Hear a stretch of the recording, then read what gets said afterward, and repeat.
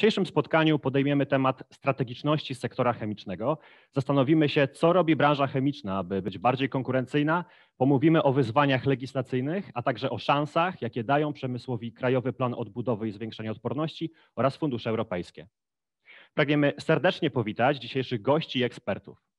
Witamy przedstawicieli administracji, a są to Małgorzata Jarosińska-Jedynak, sekretarz stanu w Ministerstwie Funduszy i Polityki Regionalnej, doktor habilitowany Robert Tomanek, podsekretarz stanu w Ministerstwie Rozwoju, Pracy i Technologii, Marlena Tryka, dyrektor Departamentu Innowacji i Polityki Przemysłowej w Ministerstwie Rozwoju, Pracy i Technologii, a także są z nami przedstawiciele partnerów kampanii Polska Chemia, z ramienia partnera strategicznego Grupy Azoty wiceprezes zarządu spółki dr Grzegorz Kądzielawski, drugiego spośród partnerów strategicznych kampanii Polska Chemia, a więc PKN Orlen, reprezentuje dr inżynier Arkadiusz Kamiński, ekspert w obszarze członka zarządu do spraw operacyjnych.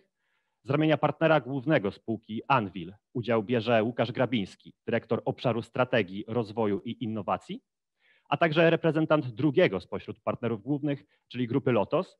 Ekspertem z tej spółki jest Jarosław Wrubel, wiceprezes zarządu do spraw inwestycji i innowacji. A gospodarzem spotkania jest dr inżynier Tomasz Zieliński, prezes zarządu Polskiej Izby Przemysłu Chemicznego, który wprowadzi Państwa w dzisiejszy temat, a także przeprowadzi przez poszczególne elementy dzisiejszej agendy. Panie prezesie, zapraszam. Dzień dobry Państwu. Witamy serdecznie na drugiej tegorocznej debacie kampanii Polska Chemia. Pani minister, panie ministrze, pani dyrektor, szanowni panowie prezesi, dyrektorzy, wszyscy nasi uczestnicy. Dzisiaj debata w jakże ogólnym w pewnym sensie temacie, ale będziemy nawiązywać do wielu szczegółowych kwestii związanych innymi ze strategicznością, konkurencyjnością i przyszłością, jaka stoi przed polską chemią, sektorem, no co by nie było jednym z kluczowych filarów e, tak naprawdę gospodarki, naszego codziennego funkcjonowania i wielu sektorów, które się z nami łączą. E, jako słowo wprowadzenia kilka elementów e, pokazujących, gdzie jesteśmy, jeżeli chodzi o polską chemię. E, to sektor, który ostatnio został poddany analizie poprzez wielu analityków, szczególnie sektora finansowego, co to się dzieje w gospodarce, co się zadziało w różnego rodzaju sektorach w czasie pandemii. Ale my patrzymy na chemię zupełnie w innej perspektywie, patrzymy to, na, to, e, na ten sektor, na tą część gospodarki jako, jako przede wszystkim potężny budulec gospodarki, jako coś, co jest, co było prawie od zawsze jest i pewnie będzie, bo od chemii dużo zależy. E, w przypadku sektora chemicznego w Polsce wygląda to tak, że stanowimy dzisiaj około 1 piątej całości produkcji, całości przemysłu w Polsce pod względem produkcji sprzedanej. E, jest to ogromna wartość, którą z jednej strony wnosimy do gospodarki jako sektor, ale z drugiej strony jest to właśnie potężny budulec, fundament, spoiwo ale także potężna płaszczyzna do rozwoju gospodarczego, szczególnie w obecnym czasie.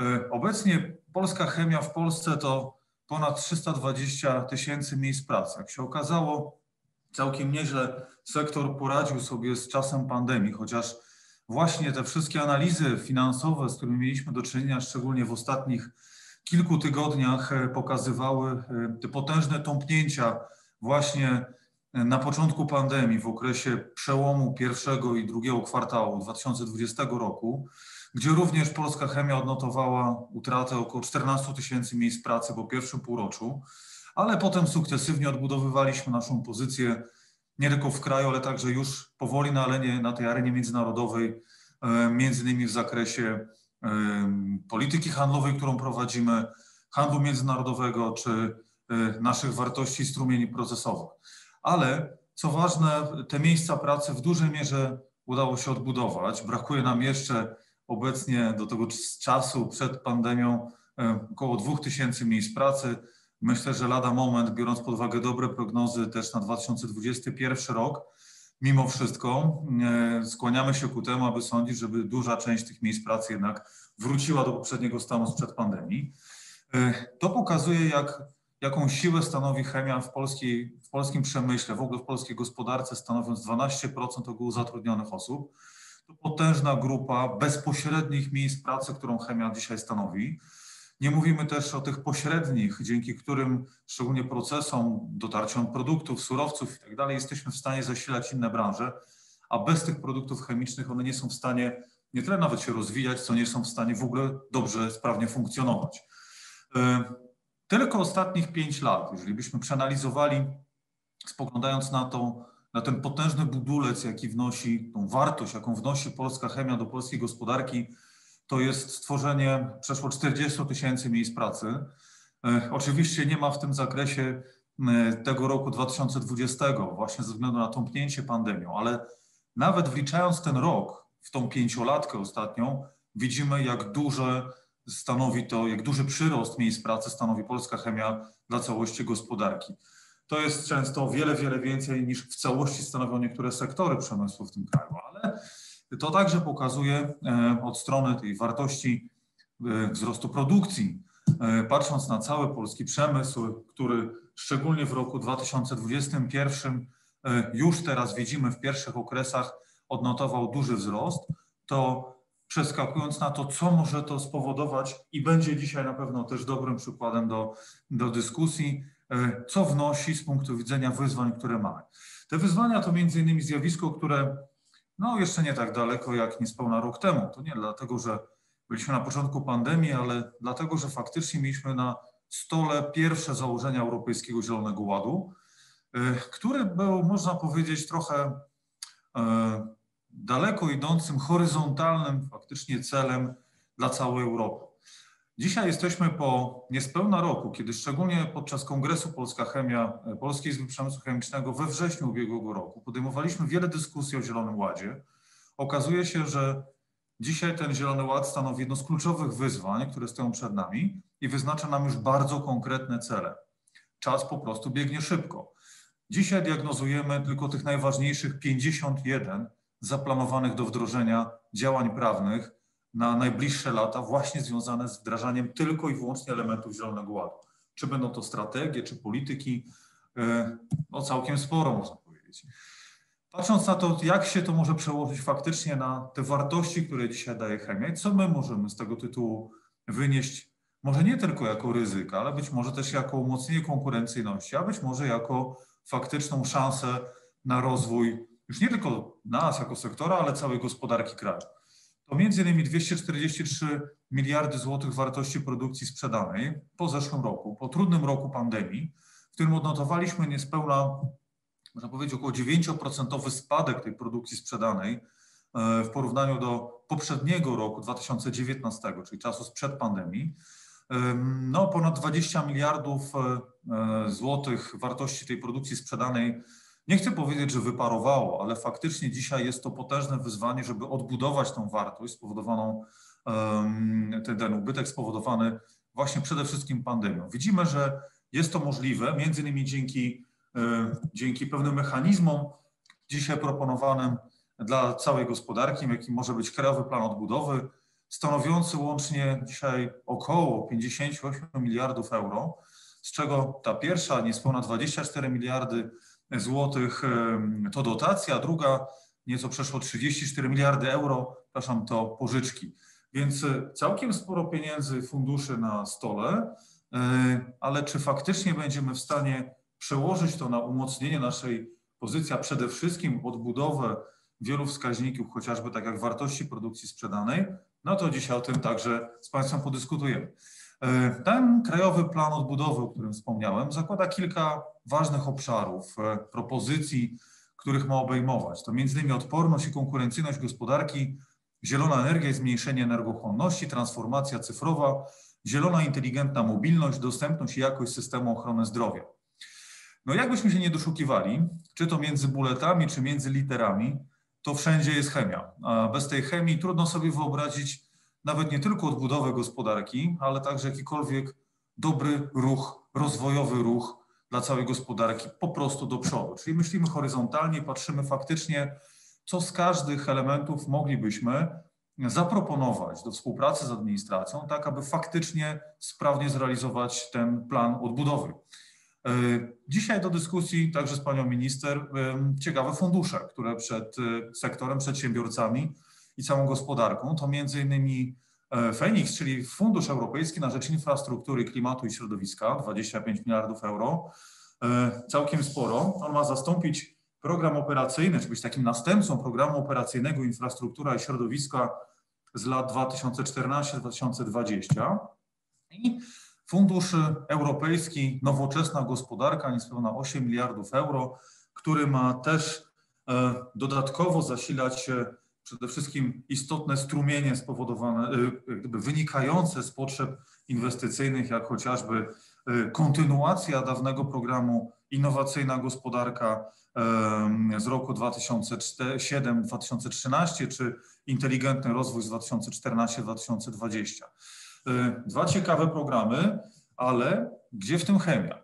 No w zasadzie jakbyśmy się tak dobrze rozejrzeli, no to w zasadzie tą polską chemię mamy praktycznie w, ta, w każdym obszarze takim, który możemy bezproblemowo zaproponować do takich funduszy, bezproblemowo zaproponować do Krajowego Planu Odbudowy lub nawet już teraz stwierdzić, że w zasadzie bez tych wielu obszarów, jak e, panele słoneczne, e, wytrzymałe tworzywa i nowe, innowacyjne tworzywa, biopaliwa, pewnego rodzaju nowe podzespoły, oczywiście polityka wodorowa i cała, cała polityka rozwoju gospodarczego opartego na wodorze, lekkie opakowania, zupełnie nowoczesne materiały zastępujące dotychczasowe, zrównoważony rozwój, oczywiście pełność odpowiedzialności społecznej, efektywność energetyczna i wiele, wiele innych elementów, oczywiście finalizujących to zmniejszenie emisyjności, szczególnie przy tym 55% celu dzisiaj stawiamy, ale także cała pełna odpowiedzialność środowiskowa, która stoi przed chemią, to wiele obszarów, bez których trudno sobie wyobrazić dzisiaj e, sprawną, dobrze rokującą przyszłość dla naszego społeczeństwa i całej gospodarki. Zatem tyle tytułem wstępu. E, chciałbym zaprosić teraz pana ministra e, Roberta Tomanka. Panie profesorze, dzień dobry, witamy.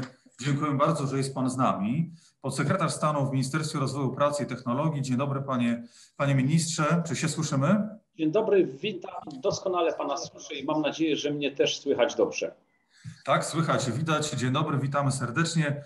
E, tylko z mojej strony tytułem wstępu poprosił pana ministra o komentarz do sprawy a propos właśnie tylu elementów, e, które stoją przed nami i przed wielką polską chemią, e, która ma istotny wpływ dla gospodarki, w tym znaczeniu jej konkurencyjności, strategiczności, przede wszystkim dla całej gospodarki, dla wielu sektorów, gałęzi, które są podpięte wspólnie i całe to działanie też związane z odbudową naszej gospodarki, szczególnie po pandemii, polska chemia w tym wszystkim może wnieść. Panie ministrze, oddaję głos. Myślę, że takim fundamentem, e, który buduje perspektywy rozwoju przemysłu chemicznego w Polsce, jest koncepcja autonomii strategicznej Unii Europejskiej. COVID pokazał problemy z łańcuchami dostaw, z rozciągniętymi łańcuchami dostaw i ta koncepcja autonomii strategicznej e, jest wielką szansą dla polskiego przemysłu, a też i przemysłu chemicznego, który jest ważnym komponentem tej struktury przemysłowej. No i druga kwestia e, to jest to, o czym tutaj Pan wspominał wcześniej, Mianowicie e, przemysł chemiczny pokazał swoją siłę, tak jak w ogóle przemysł polski w czasie e, epidemii. A zatem widać, że jest silny, że ma duże mm, szanse na e, odporność i na ekspansję, co zresztą widać też w eksporcie. Jak jeszcze do tego dodamy strukturę tego przemysłu, gdzie mamy i owszem dużo małych firm, ale mamy też czempionów, duże, potężne firmy, które w dodatku są przedsiębiorstwami międzynarodowymi e, i to z polskim kapitałem bardzo często, e, no to można powiedzieć, że obraz jest optymistyczny, a gdzie jest chemia? No bo właśnie zastanawiałem się pytania ze strony pana prezesa, ile to tych pieniędzy jest. I zacząłem szybko myśleć, mówię, Boże, gdzie, ile? No przecież w tym jest ta chemia, w tym jest ta chemia, w tamtym jest ta chemia. No w życiu tego nie policzę, dlatego że te pieniądze są rozproszone e, nie tylko w funduszach unijnych, ale też i w środkach budżetu, nie tylko w KPO, ale na przykład w programach e, objętych perspektywą finansową nowego budżetu, o których też dzisiaj wspomniano, Phoenix czy FENG, o którym nie wiem, czy była mowa, bo być może, że mi to umknęło. Zatem te perspektywy są e, bardzo duże i teraz trzeba sobie zadać pytanie, które my tutaj sobie w ministerstwie zadajemy, Co mamy zrobić, żeby po pierwsze primum nocere, czyli nie zaszkodzić, czyli żeby nasze działania nie szkodziły, a po drugie, i to jest bardziej ambitne przedsięwzięcie, żeby nasze działania e, katalizowały ten rozwój. Dziękuję bardzo Panie Ministrze. E, tak, oczywiście tych programów zakładamy, że będzie bardzo dużo. E, natomiast oczywiście fundamentalnym, można powiedzieć, zjawiskiem jest jak zawsze to, że można powiedzieć mm, z jednej strony też nie zawsze chodzi o pieniądze. Czasami chodzi i w tym wypadku też jak najbardziej o dobre pomysły. Chodzi o to, w jakich obszarach, e, jak pan minister wspomniał o tym, e, gdzie ta chemia jest rozproszona, faktycznie jest jej tak dużo, jest tak wszędzie, że praktycznie trudno się skupić na bardzo, e, można powiedzieć tak wprost skanalizowanym obszarze, dedykowanym tylko dla, dla sektora chemicznego, bo jeżeli weźmiemy tylko i wyłącznie kwestię transformacji energetycznej, to siłą rzeczy oczywiście będziemy także skupiać się na wielu nowoczesnych materiałach, które bazują na przemyśle chemicznym i trudno sobie wyobrazić, oczywiście też rozwój pewnych strumieni i gałęzi bez udziału produktów zasilanych z przemysłu chemicznego. Mógłbym zapytać pana ministra e, na podsumowanie rozmowy e, o to znaczenie chemii z punktu widzenia znaczenia dla gospodarki. E, na ile w Krajowym Planie Odbudowy i w ogóle w rozwoju gospodarczym kraju i umocnieniu konkurencyjności polskiej gospodarki widzi pan minister rolę polskiej chemii w tym zakresie? Na pewno tak bezpośrednio to, co można by było powiedzieć w 100% wpisuje się w KPO, jeżeli chodzi o chemię, to jest y, budowa gospodarki obiegu zamkniętego. I to jest to zadanie, które jest koordynowane przez ministerstwo. To jako punkt pierwszy. Drugi punkt wsparcie innowacji. Podam przykład, bo jeżeli byśmy szukali tych barier rozwojowych przemysłu chemicznego, to jedną z tych barier jest kwestia energii, kosztów energii i wprowadzania y, technologii niskoenergetycznych. Y, no i tutaj takim przykładem działania, które nie jest związane z KPO, y, przynajmniej nie wprost, są konkursy IPCEI, czyli na duże przedsięwzięcia. Myśmy ogłosili w ministerstwie konkurs na IPCEI wodorowe, bo to jest ten temat, który, jak sądzę, interesuje przemysł chemiczny, który z jednej strony wytwarza wodór, ale z drugiej strony wodór może być, e, czy będzie tak, e, wszystkie prognozy, które do nas docierają, e, pokazują, będzie ważnym czynnikiem obniżania energochłonności gospodarki, a przemysł chemiczny to też truizm z mojej strony, Państwo to wiecie najlepiej, jest bardzo energochłonny. I tutaj mamy dwie wiązki w tym IPCEI wodorowym projektów, te, które będą wspierane z funduszy na innowacyjność e, i infrastrukturalne. E, tutaj jesteśmy w kontakcie z Ministerstwem Klimatu i Środowiska, bo e, pieniędzy na to nie mieliśmy oznaczonych i w ogóle może uchylę ta grąbka tajemnicy i powiem, jak wyglądały dyskusje o IPCEI wodorowym. Moi współpracownicy przychodzili i mówili, ale bo nie ma pieniędzy. A ja mówię, jak to nie ma pieniędzy? No nie ma. Y, na IPCEI nie za bardzo je mamy, mamy małe środki. To czy ogłaszać ten konkurs? Ja mówię, oczywiście, ogłaszamy konkurs, bo przecież Europa potrzebuje polskich firm i my potrzebujemy Europy, a IPCEI to jest budowanie łańcuchów międzynarodowych y, i poza tym zakładam, że te pieniądze, kiedy będą dobre pomysły, znajdą się bo ich do Polski wpłynie dość dużo e, i ci, którzy będą przygotowani, żeby je konsumować właśnie w ramach projektów chociażby IPCEI wodorowego, są w lepszej, e, w lepszej sytuacji. E, oczywiście jest dość dużo pieniędzy na innowacyjność, którymi dysponuje NCBIR i my musimy tym pieniądzom się dokładnie przyjrzeć, bo nie chciałbym zadrażniać relacji z NCBR-em, ale jako pracownik sektora naukowego e, mam wątpliwości, na ile te projekty służą stronie mm, podażowej, czyli naukowcom, którzy coś wytwarzają, a na ile stronie popytowej, czyli konsumentom. E, budżet bodaj za ubiegły rok to jest ponad 7 miliardów złotych na różne projekty. Nie na, to nie jest budżet roczny, ale w, na tyle zinwentaryzowano tych projektów, które przechodziły przez tę instytucję i myślę, że temu e, też trzeba się przyjrzeć.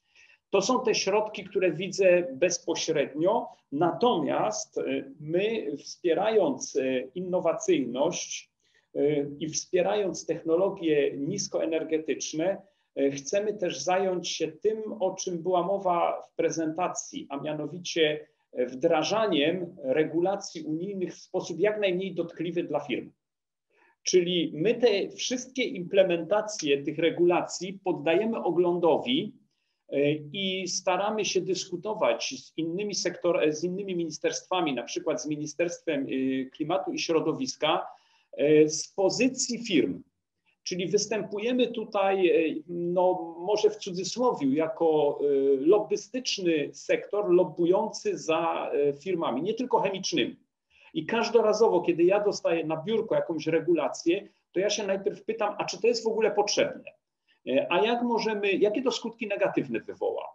E, jak możemy to e, osłabić? O co mamy walczyć? Czy na przykład o przesunięcie terminu wprowadzenia tej regulacji, żeby ona jak najmniej szkodziła biznesowi? Ja mam w ogóle takie podejście do regulacji dosyć nieufne. Więc y, każdorazowo, kiedy spływa jakaś propozycja zmian ustawowych, to ją tak oglądam z dwóch stron i zastanawiam się, ile z tego y, będzie y, problemów. I tym patrzeniem staram się mm, jakby zarazić moich współpracowników, gdzie gdzieś coś bezrefleksyjnie czasami przez tryby machiny urzędniczej wypada, to, to zwracam uwagę, popatrzcie na to z tej perspektywy. Gdzieś tam pamiętam sprzed kilku miesięcy y, była jakaś regulacja, którą y, Ministerstwo Klimatu chciało wdrożyć y, w 7 dni. Takie było, czy nawet od razu chcieli wdrożyć. Moi współpracownicy to wakacje legis wydłużyli bodaj do tygodnia. Ja tak na to popatrzyłem i mówię, jak to? Tydzień? To przecież jest zaskoczenie. Okazało się, że dało się to wyciągnąć do miesiąca. Czyli to jest taki drobiazg, który pokazuje, jak my tu funkcjonujemy, to jest też, y, to też muszę powiedzieć y, uczciwie i wyraźnie, y, sposób patrzenia pana premiera Gowina. On cały czas patrzy na te regulacje właśnie w podobny sposób i prosi, żeby raczej zdejmować ten ciężar, niż dokładać nowe, nowe normy, które zmniejszają czasem ryzyko administracji, ale zwiększają koszty gospodarki. No panie ministrze, podniósł pan bardzo ciekawy wątek. To jest taki wątek, e, o który wiele przedsiębiorstw, e, wielu sektorów e, zabiega od lat, tak żeby faktycznie spoglądać na regulacje i nawet zacytuję pana ministra, były one jak najmniej dotkliwe dla firm. To jest bardzo dobry cel, można powiedzieć, przed, stojący przed administracją w Polsce. Często miewamy tak, że mm, nasza administracja, nasza, nasza administracja krajowa zupełnie inaczej patrzy na wiele regulacji, stąd też e, mają one nieco inny, nawet trudniejszy wymiar, bym powiedział, niż to, co bezpośrednio do nas e, przychodzi z Komisji Europejskiej. E, ale chciałbym nawiązać do dwóch kwestii, mianowicie innowacyjności i nawet samej gospodarki obiegu zamkniętego, o której Pan Minister wspomniał, chociażby biorąc pod uwagę też oczywiście to zjawisko, ta nomenklatura, czy, czy ta struktura, w której funkcjonujemy jako sektor, czyli to, że jesteśmy sektorem energochłonnym, to jest oczywiste. Natomiast e, biorąc pod uwagę od tej drugiej strony gospodarkę obiegu zamkniętego, w zasadzie można powiedzieć tak, że jeszcze rok temu, niespełna dwa lata temu, staliśmy przed wieloma hasłami, a dzisiaj stoimy w zasadzie e, już w środku tej transformacji gospodarczej potężnej, która do nas przyszła. Tak? To znaczy ten proces nastąpił bardzo, bardzo szybko. Widzimy też, jak wiele innych państw, nawet e, oczywiście europejskich, ale nie tylko europejskich, e, zaczyna wdrażać wiele produktów, wiele rozwiązań zbliżających ich do tej idei gospodarki obiegu zamkniętego. E, a z tym się wiąże też potęga innowacyjności. Znaczy, trudno sobie dzisiaj wyobrazić, żebyśmy znaleźli raptem, można powiedzieć tak na pstryknięcie, pewne produkty, które zastąpią dzisiaj dotychczasowe, szczególnie masowo stosowane. Więc w tej innowacyjności jest potężna, potężna siła. E, co możemy zrobić, żeby polskiej chemii stworzyć takie długofalowe warunki do rozwoju? Nie tylko nie patrząc na same pieniądze. Być może oczywiście też te aspekty regulacyjne. Co byśmy z punktu widzenia właśnie takiego podejścia bardzo zdrowego dla przedsiębiorstw, które pan minister zaprezentował, to co mogli, być takiego, może wspólnie pomiędzy sektorem a administracją moglibyśmy stworzyć?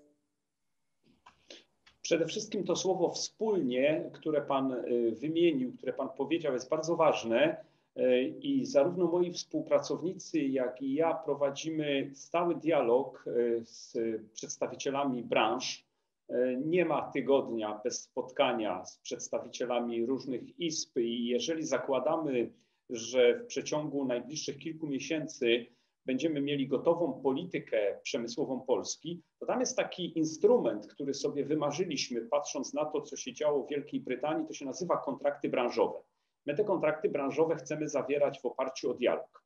Y, oczekujemy też podpowiedzi, bo mówiąc żartem, ja się nie znam na chemii. Jedyne, co potrafię zrobić, to y, domowej roboty proszek do prania. Natomiast zakładam, zakładam, że y, po stronie przemysłu, tak potężnego przemysłu, jest wielu ludzi, którzy mogą te innowacje wdrażać. Co my możemy dać? Możemy dać różnego rodzaju ulgi y, w prawie, na przykład ulgi, ulgi dla innowatorów, ulgi na robotyzację, Możemy wspierać y, konkursy na projekty innowacyjne. Y, możemy oddziaływać na szkolnictwo wyższe, propagując na przykład kształcenie dualne. Y, to państwo może robić i to państwo robi. Szukamy cały czas najbardziej efektywnych instrumentów wsparcia innowacyjności. Generalnie chodzi o to, żeby postawa innowacyjna była powszechna. Powinniśmy też, i to jest chyba najważniejszy obowiązek państwa, w sposób transparentny i niepodlegający dyskusji przez y, wszystkie siły polityczne kreślić długofalowe plany rozwoju. Czyli jeśli mówimy o umowie partnerstwa, jeśli mówimy o polityce przemysłowej, kreśląc te dokumenty na rok 2027-2030, to to powinno być wypracowane w konsensusie, wsparte przez y, gospodarkę, ale po co? Po to, żeby była jasna ścieżka rozwoju, żeby przemysł wiedział, w którym momencie na przykład ta GOS, ta gospodarka obiegu zamkniętego e, musi się pojawić. Tak jak w tej chwili zrobiono, jest to oczywiście krytykowane, że to jest odległa perspektywa, że rok 2049 to jest rok, kiedy zamkniemy ostatnią e, kopalnię. Odbywa się to pod wpływem nacisku e, oczywiście i Unii Europejskiej, ale ten nacisk powoduje, że powstaje program, który pokazuje deadline. I w tym momencie można w firmach planować y, działania y, w tym zakresie. Ja myślę, że z tym gozem, bo to jest y, wyzwanie przepotężne, to jest troszeczkę tak jak z tą słynną sceną z filmu Apollo 13, kiedy przyszedł komunikat Houston mamy problem i grupa naukowców, innowatorów została zamknięta w pomieszczeniu z tym, co mieli do dyspozycji kosmonauci i pojawiły się innowacje. My w tej chwili mamy sygnał, Houston, mamy problem. Trzeba wprowadzić gospodarkę obiegu zamkniętego. I teraz firmy muszą swoje strategie dopasować do tego deadline'u, a państwo powinno w jasny sposób pokazać, jak będzie ten proces wspierać, kierując na przykład środki na innowacje i kreując politykę podatkową, która będzie y, wspierała innowacje. Zresztą to daje efekty bo 60% nakładów na innowacje w tej chwili w Polsce wędruje z firm, a nie z uczelni czy y, z funduszy typu NCBR. Panie ministrze, myślę, że y, taki element właśnie y, pod hasłem współpraca i to wielu interesariuszy, czyli przedsiębiorców z jednej strony, konsumentów po drodze, wielu innych uczestników łańcucha, gdzie cały czas ten produkt jest żywy, można powiedzieć, aż do administracji, która powinna całe te systemy wspierać e, i też nadawać pewien ton, e, między innymi też no, chociażby konsumentom na koniec, może spowodować, że, że ta idea gospodarki obiegu zamkniętego faktycznie może być realna i może się ziścić. E, wiele wyzwań przed nami. Panie ministrze, bardzo dziękuję za rozmowę. Mam nadzieję, że też z punktu widzenia, mm, z punktu widzenia, można powiedzieć, takiego podejścia do sektorów, E, resort dostrzega tą rolę przemysłu chemicznego z punktu widzenia właśnie ile na naszych barkach spoczywa, a z drugiej strony jak to podejście budujące regulacje jak najmniej dotkliwe dla firm faktycznie poprzez na przykład ustanowienie sektora strategicznym dla gospodarki mogłoby wspomóc wdrażanie wielu polityk i strategii, nie tylko na gruncie krajowym, ale także na gruncie europejskim. Także jesteśmy do dyspozycji w tym zakresie wspólnych działań i podejmowania wspólnych wyzwań. Także bardzo dziękuję panie ministrze. Pan profesor Robert Tomanek, podsekretarz stanu w Ministerstwie Rozwoju, Pracy i Technologii, był moim rozmówcą, bardzo dziękuję, ale jest także z nami pani minister Małgorzata Jarosińska-Jedynak. Dzień dobry pani minister, czy się słyszymy? Dzień dobry, witam serdecznie, słyszymy, widzimy. Dzień dobry. Pani minister, jako Ministerstwo Funduszy i Polityki Regionalnej, po tym nazwijmy to potężnym wstępie E, potężnym wstępie, można powiedzieć, pokazującym potencjał przemysłu chemicznego, jego pozycję i możliwości. I też e, w tym, czym krótko nawiązałem do i wspomniał również o tym e, pan minister Tomanek, kwestię na przykład funduszy. No, ogromne pieniądze w Pani rękach. Ministerstwo Funduszy i Polityki Regionalnej, można powiedzieć tak bardzo ogólnie, jest gospodarzem tych funduszy, dysponentem i opiekunem. E, z takiego najnowszego raportu agencji ratingowej Moody's wynika, iż nowa perspektywa finansowa e, funduszy Unii Europejskiej e, da Polsce pewną szansę na podwyższenie tempu, tempa wzrostu produktu krajowego brutto o średnio około 0,2% rocznie. No, szczególnie prognozy na ten rok pokazują już minimum 4% wzrost rozwoju gospodarczego w Polsce. E, więc e, zobaczymy, jak to się przełoży, biorąc pod uwagę, że faktycznie e, ta, mm, to przetwórstwo przemysłowe bardzo mocno, szczególnie pod koniec marca, odbiło w naszym kraju. Media nazywają nowe fundusze swoistymi dopalaczami dla gospodarki, można powiedzieć.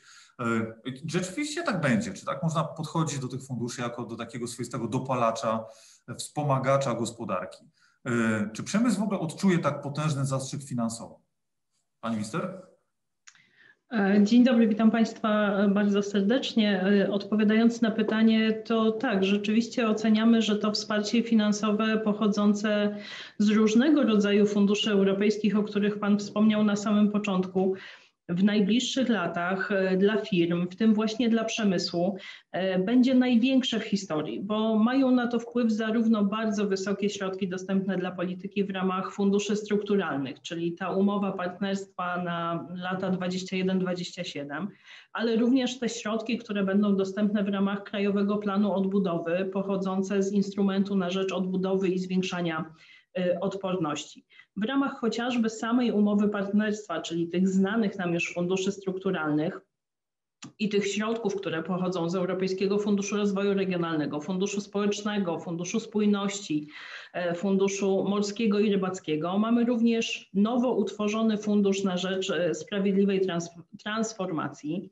E, on jest skierowany do tych regionów, które będą przechodzić tą transformację energetyczną w kierunku gospodarki odchodzącej od węgla ale tutaj mówimy o łącznej wartości alokacji dla Polski, która została zaprogramowana w umowie partnerstwa w wysokości 76,5 miliardów euro. I część z tych środków będzie przeznaczona na bezpośrednie wsparcie przedsiębiorstw i przemysłu.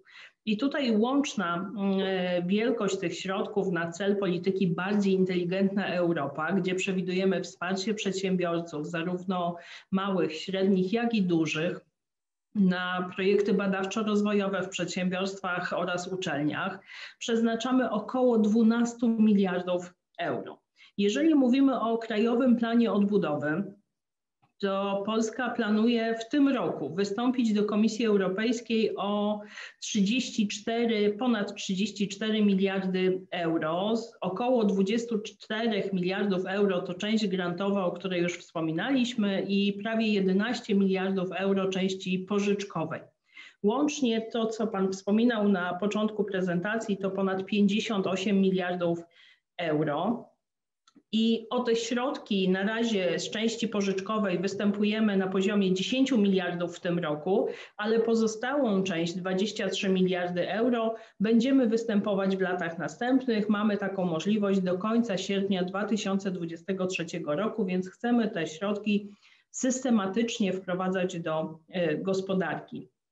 I tutaj oceniamy, że kumulacja tych środków w latach 21-23 powinna stanowić znaczący bodziec dla odbudowy gospodarki po pandemii i prognozujemy, że ten okres przyniesie bardzo wyraźny pozytywny wpływ polityki spójności na tempo wzrostu PKB, które średniorocznie będzie w tym okresie o około 0,6 punktów procentowych wyższe niż w scenariuszu bez funduszy e, unijnych a takie wyniki e, cyklicznych badań, które realizujemy corocznie na zamówienie Ministerstwa Funduszy i Polityki Regionalnej, pokazują też jednoznacznie, że fundusze europejskie nie tylko umożliwiają przyspieszanie wzrostu PKB, ale również procesu konwergencji gospodarki do e, krajów unijnych, prowadzą również do takiego zauważalnego wzrostu zatrudnienia, do spadku bezrobocia to również pozytywny efekt, który widzimy w tworzeniu nowych miejsc pracy, w poprawie kwalifikacji pracowników, e, lepszej adaptacji do zmian e, warunków pracy na rynku. Szacujemy też, że te wspomniane ogromne środki z obu źródeł, funduszy europejskich, Krajowego Planu Odbudowy, E, przyczynią się do podtrzymania wzrostu gospodarczego w Polsce w najbliższych latach, ale też pozwolą na odbudowę szczególnie tych sektorów gospodarki, które najbardziej ucierpiały w wyniku negatywnych skutków gospodarczych, które zostały spowodowane pandemią COVID-19. Bardzo dziękuję. E, nawiązując do e, wspomnianych program, programów, czyli na przykład program Fenix, nazwy Fundusze Europejskie na infrastrukturę, klimat i środowisko. Można powiedzieć, że bardzo mocno precyzują już w samej nazwie, e, na co mają być przeznaczone. Napiewają na tą kwotę mniej więcej 25 e, miliardów euro. E, pokaźne kwoty, chociaż biorąc pod uwagę całe zjawiska tej transformacji klimatyczno-energetycznej, wielu ekspertów mówi, że już nie tylko dla każdego kraju, ale w ogóle te pieniądze, które proponuje Komisja Europejska są za małe. E, takie potrzeby są klimatyczno-energetyczne chociażby w całej Europie. Ale wracając do wątku programu Fenix. E, mm, jak wiemy, chętnych jest niemalże równie dużo jak środków, można tak powiedzieć, e, w tym zakresie, ale jakie branże, obszary, na przykład działalności przemysłu znalazły się na liście tych krajowych priorytetów? Jak przemysł chemiczny może skorzystać z tej potężnej puli środków, tak bezpośrednio? Oczywiście tutaj z panem ministrem Tomankiem e, wspomnieliśmy w rozmowie wcześniej, że przemysł chemiczny jest rozproszony, można powiedzieć, wszędzie i trudno sobie wyobrazić, e, jeżeli byśmy mieli wyłączyć bezpośrednio jakiś strumień, to i tak on musiałby objąć wiele innych branż. Ale może z punktu widzenia pani minister i ministerstwa tutaj, jako tego opiekuna programami, dostrzega pani minister e, konkretnie właśnie, jak chemia mogłaby skorzystać w tym zakresie? Na pewno to, o czym wspomnieliśmy w przypadku tego sektora energetyki, to dążenie do osiągnięcia przez całą Unię Europejską neutralności klimatycznej do 2050 roku e, potęguje istotne potrzeby inwestycyjne. Dlatego w programie Fenix na lata 21-27 realizowane będą e, działania z zakresu wsparcia między innymi odnawialnych źródeł energii wraz z magazynowaniem energii. Będą to działania, które będą poprawiać efektywność energetyczną w, w przedsiębiorstwach. E, prowadzone one będą wraz z audytem oraz instalacją urządzeń e, odnawialnych źródeł energii. To również budowa, rozbudowa e, jednostek wysokosprawnej kogeneracji, których przedsiębiorstwa branży chemicznej, jak i z innych branż, będą mogły skorzystać bezpośrednio. Ale tutaj warto też podkreślić, że branża chemiczna odniesie również duże korzyści z realizacji programu w sposób pośredni. To jest poprzez dostarczanie produktów innym beneficjentom, którzy będą realizować projekty w ramach e, programu. Więc na pewno e, ta potrzeba tych produktów będzie, będzie tutaj bardzo duża. E, w przypadku sektora środowiska Polsce wciąż e, niewystarczająca jest świadomość, to o czym wspominał też pan minister Tomanek, ta świadomość uwarunkowań realizacji koncepcji gospodarki o obiegu zamkniętym. GOS przede wszystkim wymaga zwiększania świadomości mieszkańców, przedsiębiorców w zakresie sposobów, sposobów postępowania z odpadami, ale również w zakresie bardziej ekologicznego świadczenia usług i produkcji, produkcji dóbr. W związku z tym w ramach programu Fenix wsparcie obejmować będzie również ten obszar racjonalizacji zasobochłonności prowadzonej działalności gospodarczej. E, w tym całym cyklu życia produktu, w całym cyklu życia usługi. E, ponadto między innymi tworzone będą takie instalacje do recyklingu, odzysku jako procesów zagospodarowania e, które są w tej chwili najbardziej oczekiwane w hierarchii sposobów postępowania z odpadami. E, na pewno są to obszary, w których branża chemiczna może partycypować zarówno bezpośrednio jako beneficjent takiego wsparcia, ale również pośrednio, dostarczając innym beneficjentom rozwiązań czy produktów do realizacji inwestycji właśnie w tym obszarze e, gospodarki obiegu zamkniętego. Bardzo dziękuję. To tak, jakbyśmy przeskoczyli teraz na FRANK, tak? E, czyli fundusz, fundusze europejskie na, mm, dla nowoczesnej gospodarki. Można by było tak, mm, można powiedzieć, bazowo e, doszukiwać się wielu podobieństw pomiędzy Feniksem a Fengiem. Fenk akurat e, wnosi około 8 miliardów euro, natomiast bardziej skupia się on, e, można powiedzieć, no, tak jak te poprzednie programy, które, które on kontynuuje, czyli innowacyjna gospodarka, inteligentny rozwój, jak można byłoby się nawet domyślać, więcej wsparcia właśnie w zakresie tych innowacyjnych, nowych produktów, e, bardziej konkurencyjnej, inteligentnej, tej innowacyjności można powiedzieć, dzięki której też będziemy mieli realizację wielu celów. A jak tutaj, w tym programie, e, pani minister dostrzegałaby szansę dla polskiej chemii? Można powiedzieć, które przemysły, bądź konkretne aspekty tej działalności przemysłu mogłyby skorzystać z tej, z tej puli środków konkretnie w FENG-u? E, co do zasady, fundusze europejskie dla nowoczesnej gospodarki e, oferują wsparcie dla wszystkich sektorów przemysłu. E, oczywiście z wyjątkiem tych, które zostały przewidziane bezpośrednio w prawie Unii Europejskiej, jak na przykład przemysł hutniczy. Więc takim Kluczowym e, aspektem jest to, aby te wspierane projekty wpisywały się w listę krajowych inteligentnych specjalizacji, która obecnie obejmuje 13 pozycji. Chemia nie stanowi odrębnej specjalizacji, bo tak jak już wielokrotnie dzisiaj mówiliśmy, chemia jest wszędzie. E, więc na pewno w co najmniej czterech e, krajowych inteligentnych specjalizacjach, jak chociażby zdrowe społeczeństwo, jak innowacyjne technologie, procesy, produkty e, sektora rolno-spożywczego czy biotechnologiczne i chemiczne procesy, wpisuje się przemysł chemiczny. Natomiast na pewno znajdzie on też, będzie się wpisywał w inne pozostałe krajowe inteligentne specjalizacje. Więc w ramach e, Funduszy Europejskich dla Nowoczesnej Gospodarki e, przewidujemy szerokie możliwości wspierania przedsiębiorstw, między innymi z branży chemicznej. A takie główne założenia FENG-u to wspieranie zarówno samych przedsiębiorców, jak i ich współpracy z nauką, to koncentracja na badaniach, rozwoju, innowacjach, ale w tej nowej formule e, projektu kompleksowego, takiego, który wszechstronnie będzie uwzględniał potrzeby przedsiębiorcy. Więc wnioskodawcy będą mogli dofinansować różne moduły danego projektu, nie tylko e, prace badawczo-rozwojowe, ale również infrastrukturalne, inwestycyjne, szkoleniowe, te, które będą dotyczyć cyfryzacji, internacjonalizacji, podnoszenia kompetencji, ale również co ważne i najistotniejsze w tej chwili odnosząc się do Zielonego Ładu, to również projekty z zakresu zazieleniania.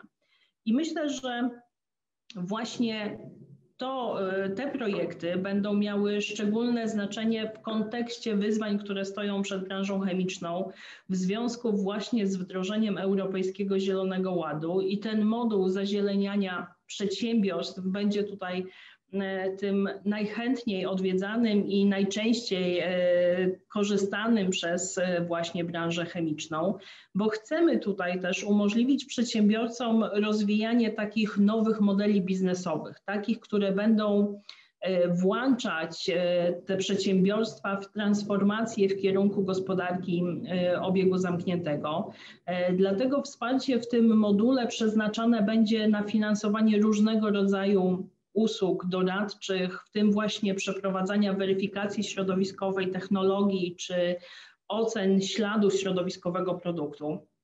I myślę, że dzięki tym projektom e, przedsiębiorcy będą mogli zweryfikować wpływ prowadzonej działalności na środowisko, ale również podjąć niezbędne decyzje biznesowe, podjąć niezbędne inwestycje, aby zoptymalizować e, negatywny wpływ e, przedsięwzięć, produktów właśnie na środowisko. No, można powiedzieć, że w zasadzie jest to dosyć szerokie spektrum, szczególnie jeżeli chodzi o beneficjentów. I tutaj dostrzegamy wiele głosów, słyszymy wiele takich doniesień, nie tylko z sektora zresztą chemicznego, ale mm, szczególnie z sektora, można powiedzieć, tego podziału na małych, średnich i dużych, dużych e, przedsiębiorców, bo tutaj dużo kontrowersji mm, budzi pewna koncentracja środków, głównie właśnie dla sektora MŚP w Polsce. E, a co z dużymi przedsiębiorstwami przy tego typu programach i wsparciu, e, które w przypadku akurat sektora chemicznego są w zasadzie tą siłą napędową, tym driverem i takim, nie chcę powiedzieć, że centrum rozwojowym, ale w pewnym sensie okrętem flagowym dla też mniejszych przedsiębiorstw w gospodarce, ale nie tylko nawet dla samych miast, w których są zlokalizowane te duże przedsiębiorstwa, ale też w ogóle dla całych województw, całych regionów, można powiedzieć. Tak? Co z dużymi? E, jak najbardziej dostrzegamy i oczywiście doceniamy znaczącą rolę dużych przedsiębiorstw, nie tylko w rozwoju regionalnym, ale również właśnie w kreowaniu e, podaży innowacji. Przede wszystkim dzięki dobremu zapleczu kadrowemu, sprzętowemu, e, dzięki rozleglejszym sieciom współpracy, ale również większym możliwościom finansowym. E, należy tutaj jednak podkreślić, że finansowanie dużych przedsiębiorstw jest zależne od spełnienia dodatkowych warunków, które wynikają z odpowiednich regulacji dotyczących funduszy Unii Europejskiej, ale również przepisów o pomocy publicznej.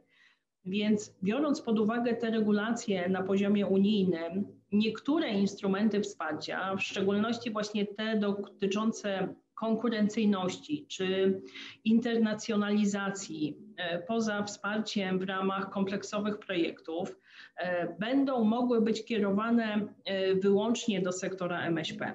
Jednak duża część funduszy europejskich dla nowoczesnej gospodarki będzie otwarta także na duże firmy. E, planujemy finansować tutaj współpracę pomiędzy firmami różnej wielkości, e, a także pomiędzy biznesem a sektorem nauki. E, przewidujemy szeroki zakres wsparcia, w szczególności w ramach takich kompleksowych projektów skierowanych do przedsiębiorców, niezależnie od ich wielkości. W ramach tych projektów będą oni mogli samodzielnie dobierać się e, do finansowania e, takie elementy projektów, na które mają zapotrzebowanie. E, elementy projektów, na które będzie można uzyskać finansowanie, to na przykład prace badawczo-rozwojowe, to infrastruktura badawczo-rozwojowa, to wdrażanie innowacji, internacjonalizacja, cyfryzacja, zazielenianie przedsiębiorstw, o których już wspominałam, to również podnoszenie kompetencji e, w tych firmach. Oczywiście to, co jest e, warunkiem koniecznym e, w przypadku Funduszy Europejskich dla Nowoczesnej Gospodarki, również będzie dotyczyło dużych przedsiębiorstw, jest wpisywanie się w krajowe inteligentne specjalizacje. Dobrze, to mówimy tutaj dużo o kwestii innowacyjności, wdrażania innowacji, e, tej struktury finansowania takich projektów o charakterze innowacyjnym i trudno oczywiście po pierwsze się nie zgodzić z takim zjawiskiem, ale trudno właśnie sobie wyobra nie wyobrazić tego, żeby całość czy to planu odbudowy, czy, czy w ogóle aspektów umacniania konkurencyjności i polskiej chemii i gospodarki odbyła się bez innowacyjności.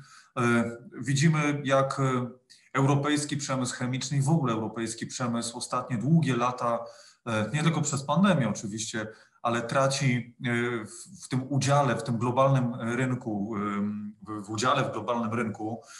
No, oczywiście wiele innych uwarunkowań, które niosą za sobą chociażby struktura produkcji surowcowa, regulacyjna takich regionów jak Daleka Azja chociażby.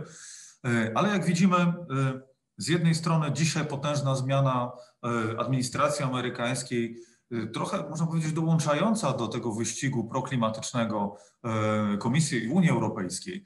Y, ale znowu wokół tego wszystkiego cały czas ta innowacyjność, nowe produkty, no bo te stare musimy czymś zastąpić, procesy udoskonalić i tak dalej. Niespełna dwa tygodnie temu premier Jarosław Gowin zainaugurował polskie działania w ramach Horyzontu Europa, który uznaje się za, można powiedzieć, taki najbardziej ambitny program na rzecz w ogóle badań naukowych i innowacyjności w ogóle w historii Unii Europejskiej. E, jak w tym obszarze polska chemia e, może się w ogóle odnaleźć? Jak może na tym zyskać? E, może z jednej strony oczywiście widzimy potężne pieniądze, które jako liczby robią wrażenie, a potem na koniec dnia musimy, że tak powiem, zderzyć się z rzeczywistością i nie tylko mieć pomysły, ale faktycznie możliwości, żeby faktycznie temu sprostać, tak? Jeżeli chodzi o e, program Horyzont Europa, e, to przede wszystkim będzie on wspierać badania, ale również wzmacniać potencjał technologiczny i przemysłowy poprzez takie tematyczne grupy polityk, tak zwane klastry, które będą dotyczyć globalnych wyzwań takich jak ekologia i zdrowie. Myślę, że takim szczególnie interesującym dla przemysłu chemicznego może być ten klaster zdrowie, który obejmuje wyzwania takie jak pandemia koronawirusa, e, jak kwestie związane e, z rozszerzaniem badań klinicznych, kwestie środków ochronnych, wirusologię, szczepionki. E, Horyzont Europa przewiduje także wspieranie partnerstw europejskich, które mogą obejmować wspólne e, projekty partnerów z sektorów prywatnego i publicznego różnych państw e, Unii Europejskiej. I myślę, że tutaj ważne zaznaczenia jest, że w opracowywanym programie Fundusze Europejskie dla Nowoczesnej Gospodarki przewidzieliśmy kilka instrumentów, które będą synergiczne wobec Horyzontu Europa tak jakby, y, tak jak chociażby granty na eurogranty, gdzie chcemy wspierać aplikowanie do Horyzontu Europa oraz innych programów, które są zarządzane bezpośrednio przez y, Komisję Europejską, jak y, Digital Europe, jak Kreatywna Europa, jak kontynuacja programu LIFE. Chcemy tu sfinansować zarówno przygotowanie wniosku, jak, jak i poszukiwanie partnerów do budowy międzynarodowego konsorcjum, i mamy nadzieję, że dzięki temu e, instrumentowi pośrodki horyzontu sięgną także nowe, niedoświadczone w aplikowaniu firmy, ale oczywiście zapraszamy tutaj wszystkich, nawet tych, którzy już korzystają e, z horyzontu. Kolejnym takim wsparciem w ramach FENG-u jest chociażby Seal of Excellence, czyli wsparcie dla tych projektów badawczo-rozwojowych, które aplikując do horyzontu, uzyskały wysoką komisję, wysoką ocenę Komisji Europejskiej, potwierdzoną certyfikatem Seal of Excellence, ale chociażby z powodu braku środków nie otrzymały wsparcia w horyzoncie, więc takie projekty będą mogły uzyskać wsparcie w ramach Funduszy Europejskich dla Nowoczesnej Gospodarki już w uproszczonej procedurze. Więc e, ważne jest, e, ważna jest właśnie ta, ta pomoc, to wsparcie w tym, abyśmy jeszcze, mm, jeszcze więcej tych środków z horyzontu Europa pozyskali na projekty realizowane na terenie Polski. E, to może tak na koniec u wielu naszych słuchaczy, których liczba dzisiaj przekroczyła ćwierć tysiąca, na pewno interesuje taki fakt, kiedy to wszystko nastąpi i czy to w ogóle będzie łatwe? Kiedy możemy się spodziewać tych realnych środków, e, bez których no z jednej strony można powiedzieć, nie poradzimy sobie w pełni, przede wszystkim ze skutkami pandemii w całym tym zjawisku. Pandemia z jednej strony, odbudowa gospodarki z drugiej, a ta potężna konkurencyjność, która gdzieś wisi wysoko, niezależnie od pandemii, tej sytuacji obecnej gospodarczej, jest ważna, żeby ją umacniać i i przede wszystkim e, dalej, dalej budować, e, patrząc na to, jak, jakie tempo dalej mimo pandemii mają, rozwoju mają takie regiony jak chociażby właśnie Daleka Azja. E, właśnie, to jest potężny pakiet wyzwań, które mamy dodatkowo wokół tej konkurencyjności, jak jest chociażby, jakim jest Europejski Zielony Ład. To kiedy, Pani Minister, moglibyśmy się spodziewać środków i czy możemy mieć nadzieję, że pozyskiwanie tych środków będzie zdecydowanie uproszczone w porównaniu do tego, z czym mieliśmy do czynienia w ostatnich latach, jeszcze poprzednich perspektyw. E, ja się uśmiecham, bo, bo jak Państwo doskonale wiecie, fundusze europejskie e, nie należą do łatwych środków, e, ale cały czas staramy się te procedury upraszczać, cały czas staramy się budować systemy, które będą powodować, że, że ubieganie o te środki będzie znacznie mm, przyjemniejsze, będzie znacznie szybsze. Jeżeli chodzi o to, kiedy, e, to przede wszystkim mówimy najpierw o Krajowym Planie Odbudowy, ponieważ to miał być taki instrument szybki, łatwy i przyjemny, tak przynajmniej przekazywała Komisja Europejska.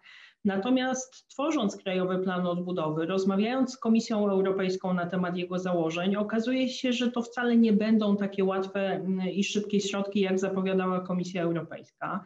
E, więc e, patrząc wręcz na procedury, które pokazuje tutaj Komisja Europejska, które trzeba mm, wypełnić, aby po te środki sięgnąć, e, obawiamy się, że mogą to być środki znacznie trudniejsze i bardziej skomplikowane może być ich rozliczenie. Ale to taki e, czarny scenariusz. E, patrząc bardziej, bardziej mm, optymistycznie, to przed, chcielibyśmy, aby te środki w ramach Krajowego Planu Odbudowy ruszyły jeszcze w tym roku. Do końca kwietnia mm, przekazujemy do Komisji Europejskiej projekt, przekazujemy dokument Krajowego Planu Odbudowy, już nie projekt. E, chcielibyśmy, aby Polska mogła wystąpić do Komisji Europejskiej z wnioskiem o środki na realizację reform i inwestycji, które są zaplanowane w, w dokumencie e, na przełomie 2021-2022 roku. E, jednak, aby do tego doszło, konieczne jest postępowanie proceduralne, które polega na ocenie przedłożonego dokumentu przez Komisję, na przedłożeniu go do decyzji wykonawczej Rady, zawarcie umowy z Komisją Europejską i dopiero od tego momentu Polska będzie mogła wnioskować e, o te środki. Wnioskowanie jest dwa razy w roku, ale tutaj co ważne, ja chcę uczulić, e, że te projekty, te inwestycje, te reformy, które będą realizowane w ramach Krajowego Planu Odbudowy, kwalifikowalność tych wydatków jest od 1 lutego 2020 roku. Więc biorąc pod uwagę, że jest to e, taki program, którego realizacja ma nastąpić do końca sierpnia 2026 roku, e, to ważne jest, aby projekty były przygotowane, gotowe do realizacji, nawet rozpoczęte po dacie 1 lutego 2020 roku, bo od tego czasu liczymy kwalifikowalność wydatków,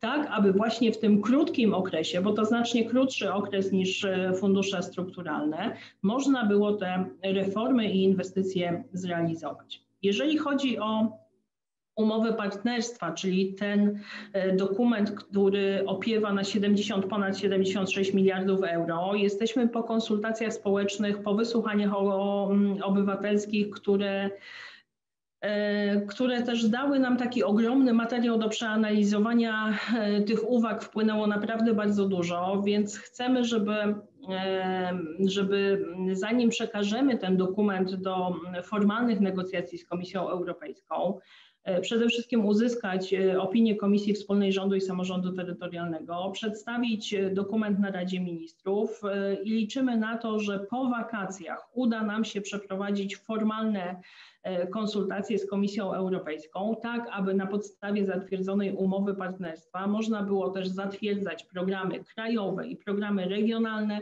aby mm, jeszcze w tym roku ruszać z, ruszać z konkursami, z naborami wniosków. Bardzo dziękuję Pani Minister. E, możemy tak nawet e, podsumowując e, tą ostatnią część, mógłbym tak zapytać nawet, można powiedzieć o tę kwestię. Kiedyś funkcjonowały programy sektorowe. Jednym z nich był Innochem, chociażby dedykowany dla branży chemicznej. Być może to byłoby dobre narzędzie wspomagające dla Pani Minister, dla Pani resortu w, w tym w tej opiece nad i radzeniem sobie z tymi funduszami, ale też za chwilę prawdopodobnie z dużym natłokiem zainteresowanych, żeby być może wrócić do tej idei ponownego włączenia do pracy, czy utworzenia ponownie takich programów sektorowych dedykowanych dla konkretnych sektorów, co by mogło faktycznie ułatwić pozbieranie pomysłów, E, pozbieranie wytycznych, pewnych norm co do uzyskiwania funduszy. Może to byłby dobry kierunek wrócić do sektorówek i Innochemu. Oczywiście jesteśmy otwarci, jesteśmy otwarci na to, aby kontynuować programy sektorowe, więc na dalszych etapach uzgadniania dokumentów, e, takich jak szczegółowy opis osi priorytetowych, to uzupełnienie do programu, będziemy na pewno rozmawiać na temat kontynuacji programów sektorowych. Bardzo dziękuję Pani Minister e, za udział w debacie, za rozmowę. Moją rozmówcą była Pani Minister Jarosi, Małgorzata Jarosińska-Jedynak, sekretarz stanu w Ministerstwie Funduszy i Polityki Regionalnej. Bardzo dziękuję Pani Minister e, za udział w rozmowie. E, wszystkiego dobrego, powodzenia z funduszami. My liczymy na szybkie i sprawne załatwienie sprawy, bo wiadomo jak to się mówi, czas to pieniądz, czasu ucieka, oby pieniądz nam nie uciekł w tym wszystkim i w odbudowie gospodarki. Bardzo dziękujemy za obecność. Dziękuję. Szanowni Państwo, dziękuję Pani Minister. E, przechodzimy do rozmowy e, z naszymi kolejnymi gośćmi, z ekspertami, z przedstawicielami, także którzy wezmą udział w kolejnej części, czyli panelu dyskusyjnym Strategiczność polskiej chemii kluczy do, kluczem do konkurencyjności gospodarki, a w tej części udział weźmie pani Marlena Tryka, dyrektor Departamentu Innowacji Polityki e, Przemysłowej w Ministerstwie Rozwoju Pracy i Technologii. Dzień dobry Pani Dyrektor. Dzień słyszymy? dobry Państwu, tak, słyszę Pana Dzień bardzo dobry. dobrze, Panie Prezesie. Dzień dobry, witam serdecznie. Ale także w udział weźmie Pan doktor inżynier Arkadiusz Kamiński, ekspert obszaru członka zarządu do spraw operacyjnych PK Norlen. Dzień dobry Panie doktorze. Dzień dobry Państwu. Dobry, słyszymy się świetnie i widzimy, ale także doktor Grzegorz Kądzielawski, wiceprezes zarządu Grupy Azoty SA. Dzień dobry Panie Prezesie. Dzień dobry Panie Prezesie, dzień dobry Państwu dobry, widzimy się i słyszymy. E, no tak, e, dużo pieniędzy nadciąga, można powiedzieć, e, i dużo wyzwań w ogóle przed nami z punktu widzenia branży. Nie chciałbym może zaczynać od podsumowania kierowanego do pani dyrektor, pani dyrektor Marleny Tryki, ale mimo wszystko chyba jednak bym się pokusił o takie Y, troszeczkę może nie tyle podsumowanie mm, zarówno pani minister Jorsińskiej jedyna, jak i pani, pana ministra Tomanka, tylko bardziej takiej kwestii wynikającej z tych wcześniejszych rozmów, rozmów czyli jak faktycznie ministerstwo y, widzi, dostrzega y, polską chemię jako, i czy w ogóle taką tezę możemy postawić, że ta polska chemia jest filarem, kołem napędowym rozwoju gospodarczego Polski. A jeżeli tak, albo nie, to które z obszarów działalności polskiej chemii są kluczowe dla krajowej gospodarki z punktu widzenia Pani jakże ważnego departamentu w ministerstwie? Pani dyrektor? Dziękuję Panie Prezesie. E, oczywiście tak, no tutaj myślę, że wszyscy się zgodzimy, e, że e, polska chemia jest z pewnością jednym z głównych filarów rozwoju polskiej gospodarki. Tutaj patrząc już stricte na pracę mojego departamentu, który jest nie, nie bez przypadku nazywa się Departamentem Innowacji i Polityki Przemysłowej, to w ten sposób też na polską e, chemię patrzymy. Mm, polska chemia z jednej strony stanowi ten tradycyjny sektor polskiej gospodarki, który my sobie na roboczo, pracując też e, nad e, polityką przemysłową, nazywamy sektorem tradycyjnie mocnym, czyli tutaj mamy do czynienia z taką e, twardą produkcją określonych dóbr, które są konieczne właśnie nie tylko jako e, produkcja wyrobów finalnych dla poszczególnych, e, dla, dla konsumentów tutaj już finalnych, ale także jako właśnie producent, o czym też Pan Prezes wspomniał, wielu mm, dóbr pośrednich, półproduktów dla różnych branż. I tutaj Analizując te kwestie, nie możemy mówić tylko i wyłącznie o chemii jako filarze polskiej gospodarki samej w sobie, ale również jako e, koniecznym, kluczowym sektorem dla rozwoju czy możliwości rozwoju e, i produkcji e, w innych branżach polskiej gospodarki. Więc mając te dwie rzeczy na uwadze, tutaj musimy jasno sobie powiedzieć, że tak bez polskiej chemii nie widzimy rozwoju gospodarczego w Polsce, zachowując wszystkie tutaj osie priorytetowe nasze, które teraz zdefiniowaliśmy właśnie pracując nad polityką przemysłową, czyli między innymi bezpieczeństwo w dostawie surowców związane także z lokalizacją i również w kontekście autonomii strategicznej, o której wspominał pan, pan minister Tomanek. Z drugiej strony bardzo ważnym elementem polskiej chemii, którą też widzimy i którą dostrzegamy, to są właśnie te innowacje, o których powiedziałam, gdzie tutaj też w sektorze chemicznym widzimy, że, e, że sektor chemiczny jest e, w stanie i wytwarza bardzo dużo innowacji, które są także koniecznym kołem zamachowym polskiej gospodarki w kontekście też wchodzenia jej na kolejne etapy rozwoju. Nie, nie mówimy tutaj już właśnie tylko o, o takiej czystej produkcji, tylko także już o innowacyjnej i ważnej produkcji z punktu widzenia e, już państwa e, rozwiniętego, jakim jest e, Polska. Więc tutaj to, na czym się skupiamy, powinniśmy się skupiać, to też zapewnienie odpowiednich mechanizmów, czy też bezpieczeństwa konkurowania po prostu polskich przedsiębiorców na mm, coraz trudniejszych, nie oszukujmy się, rynkach zagranicznych, też patrząc na wszystkie regulacje unijne, które, z którymi mamy tutaj do czynienia. Więc podsumowując te wszystkie e, może chaotycznie przepowiedziane przeze mnie e, wątki, aczkolwiek tak, Panie Prezesie, tutaj na pewno zgadzamy się, że polska chemia jest filarem polskiej gospodarki w ten sposób właśnie kreując polityki przemysłowe czy tworząc e, instrumenty wsparcia dla innowacji na ten sektor polskiej gospodarki patrzymy. Bardzo dziękuję Pani Dyrektor.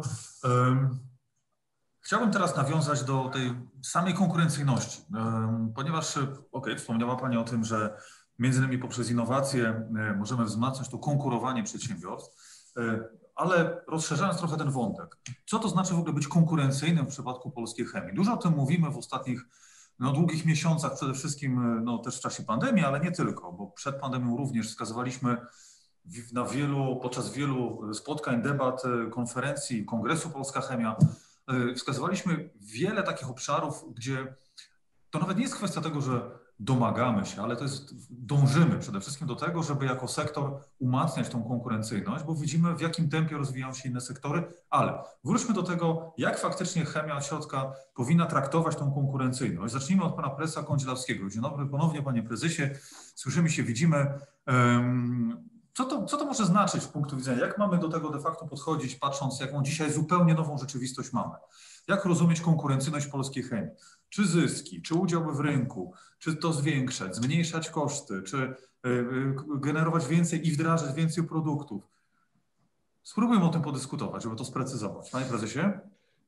Bardzo dziękuję, panie, panie prezesie. Bardzo ciekawe pytanie i nie ma na nie takiej jednoznacznej odpowiedzi.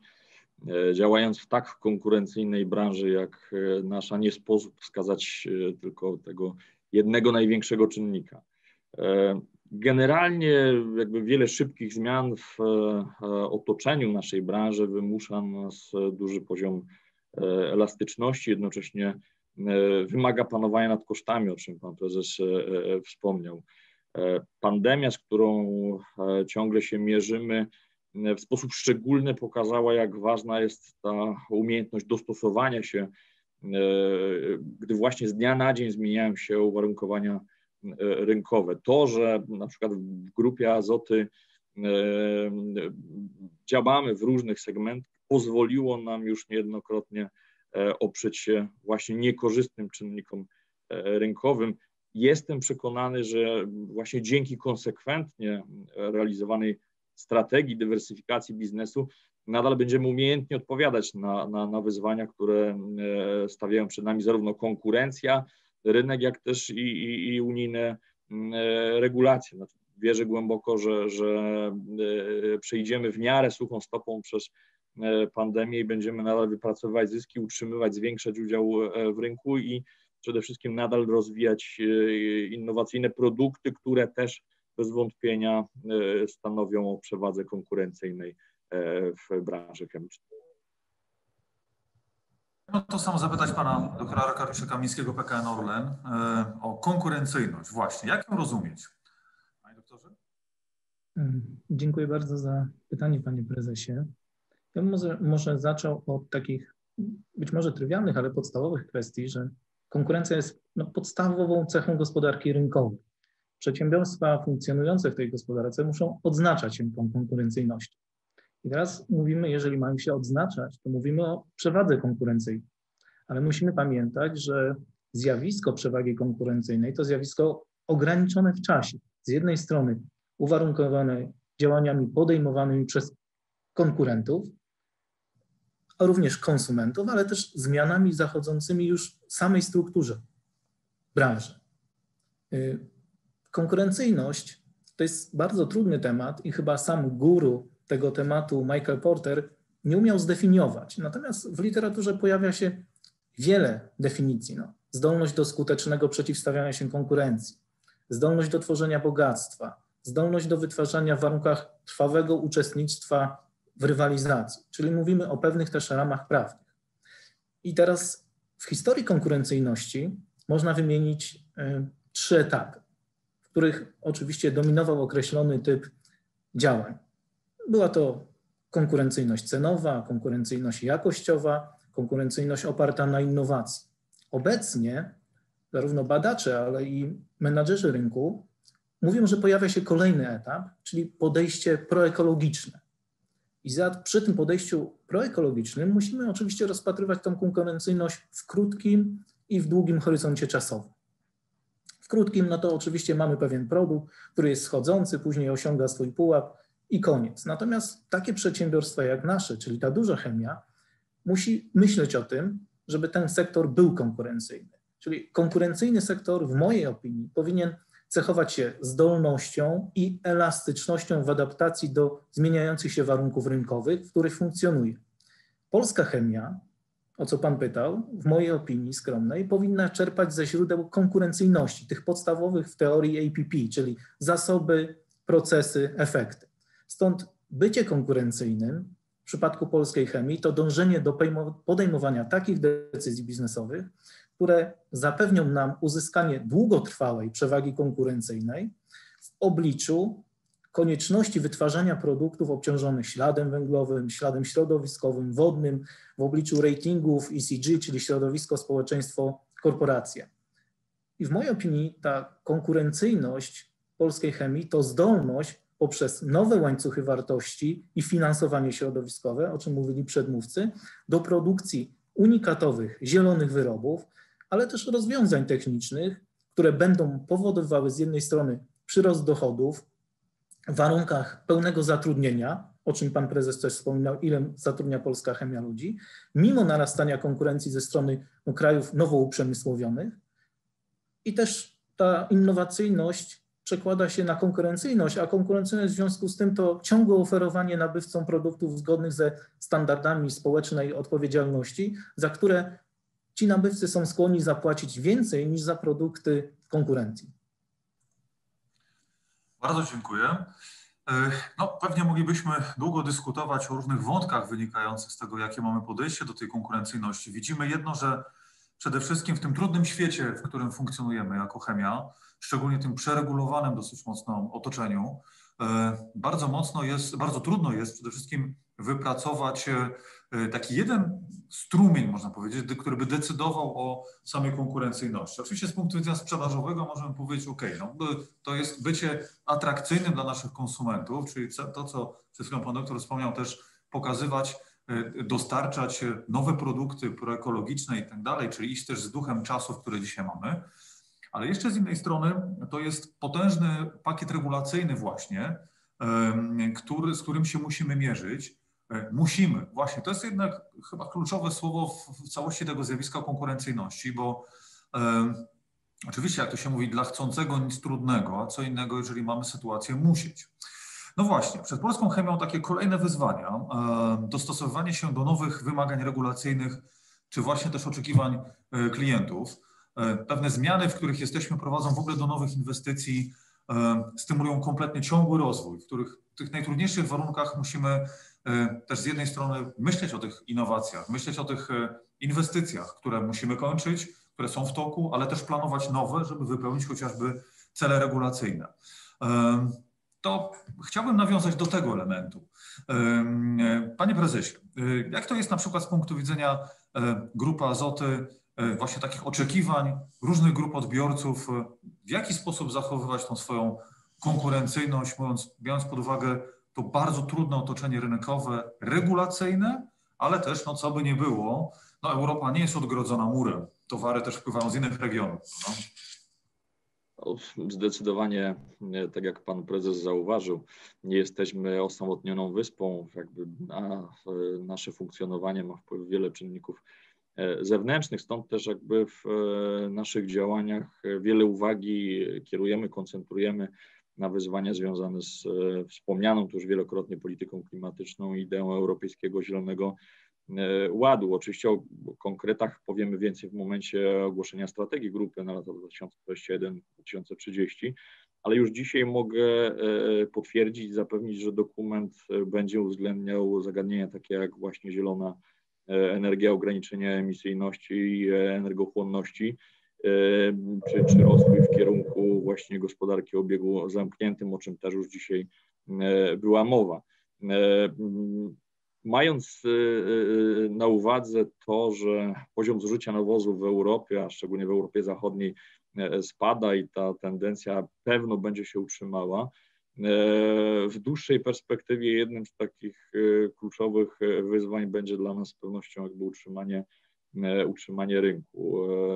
W tym celu już teraz wprowadzamy produkty dostosowane zarówno do potrzeb regulacyjnych, jak też przede wszystkim do wymagań klienta, klient, wymagań klienta, które z roku na rok coraz bardziej rosną.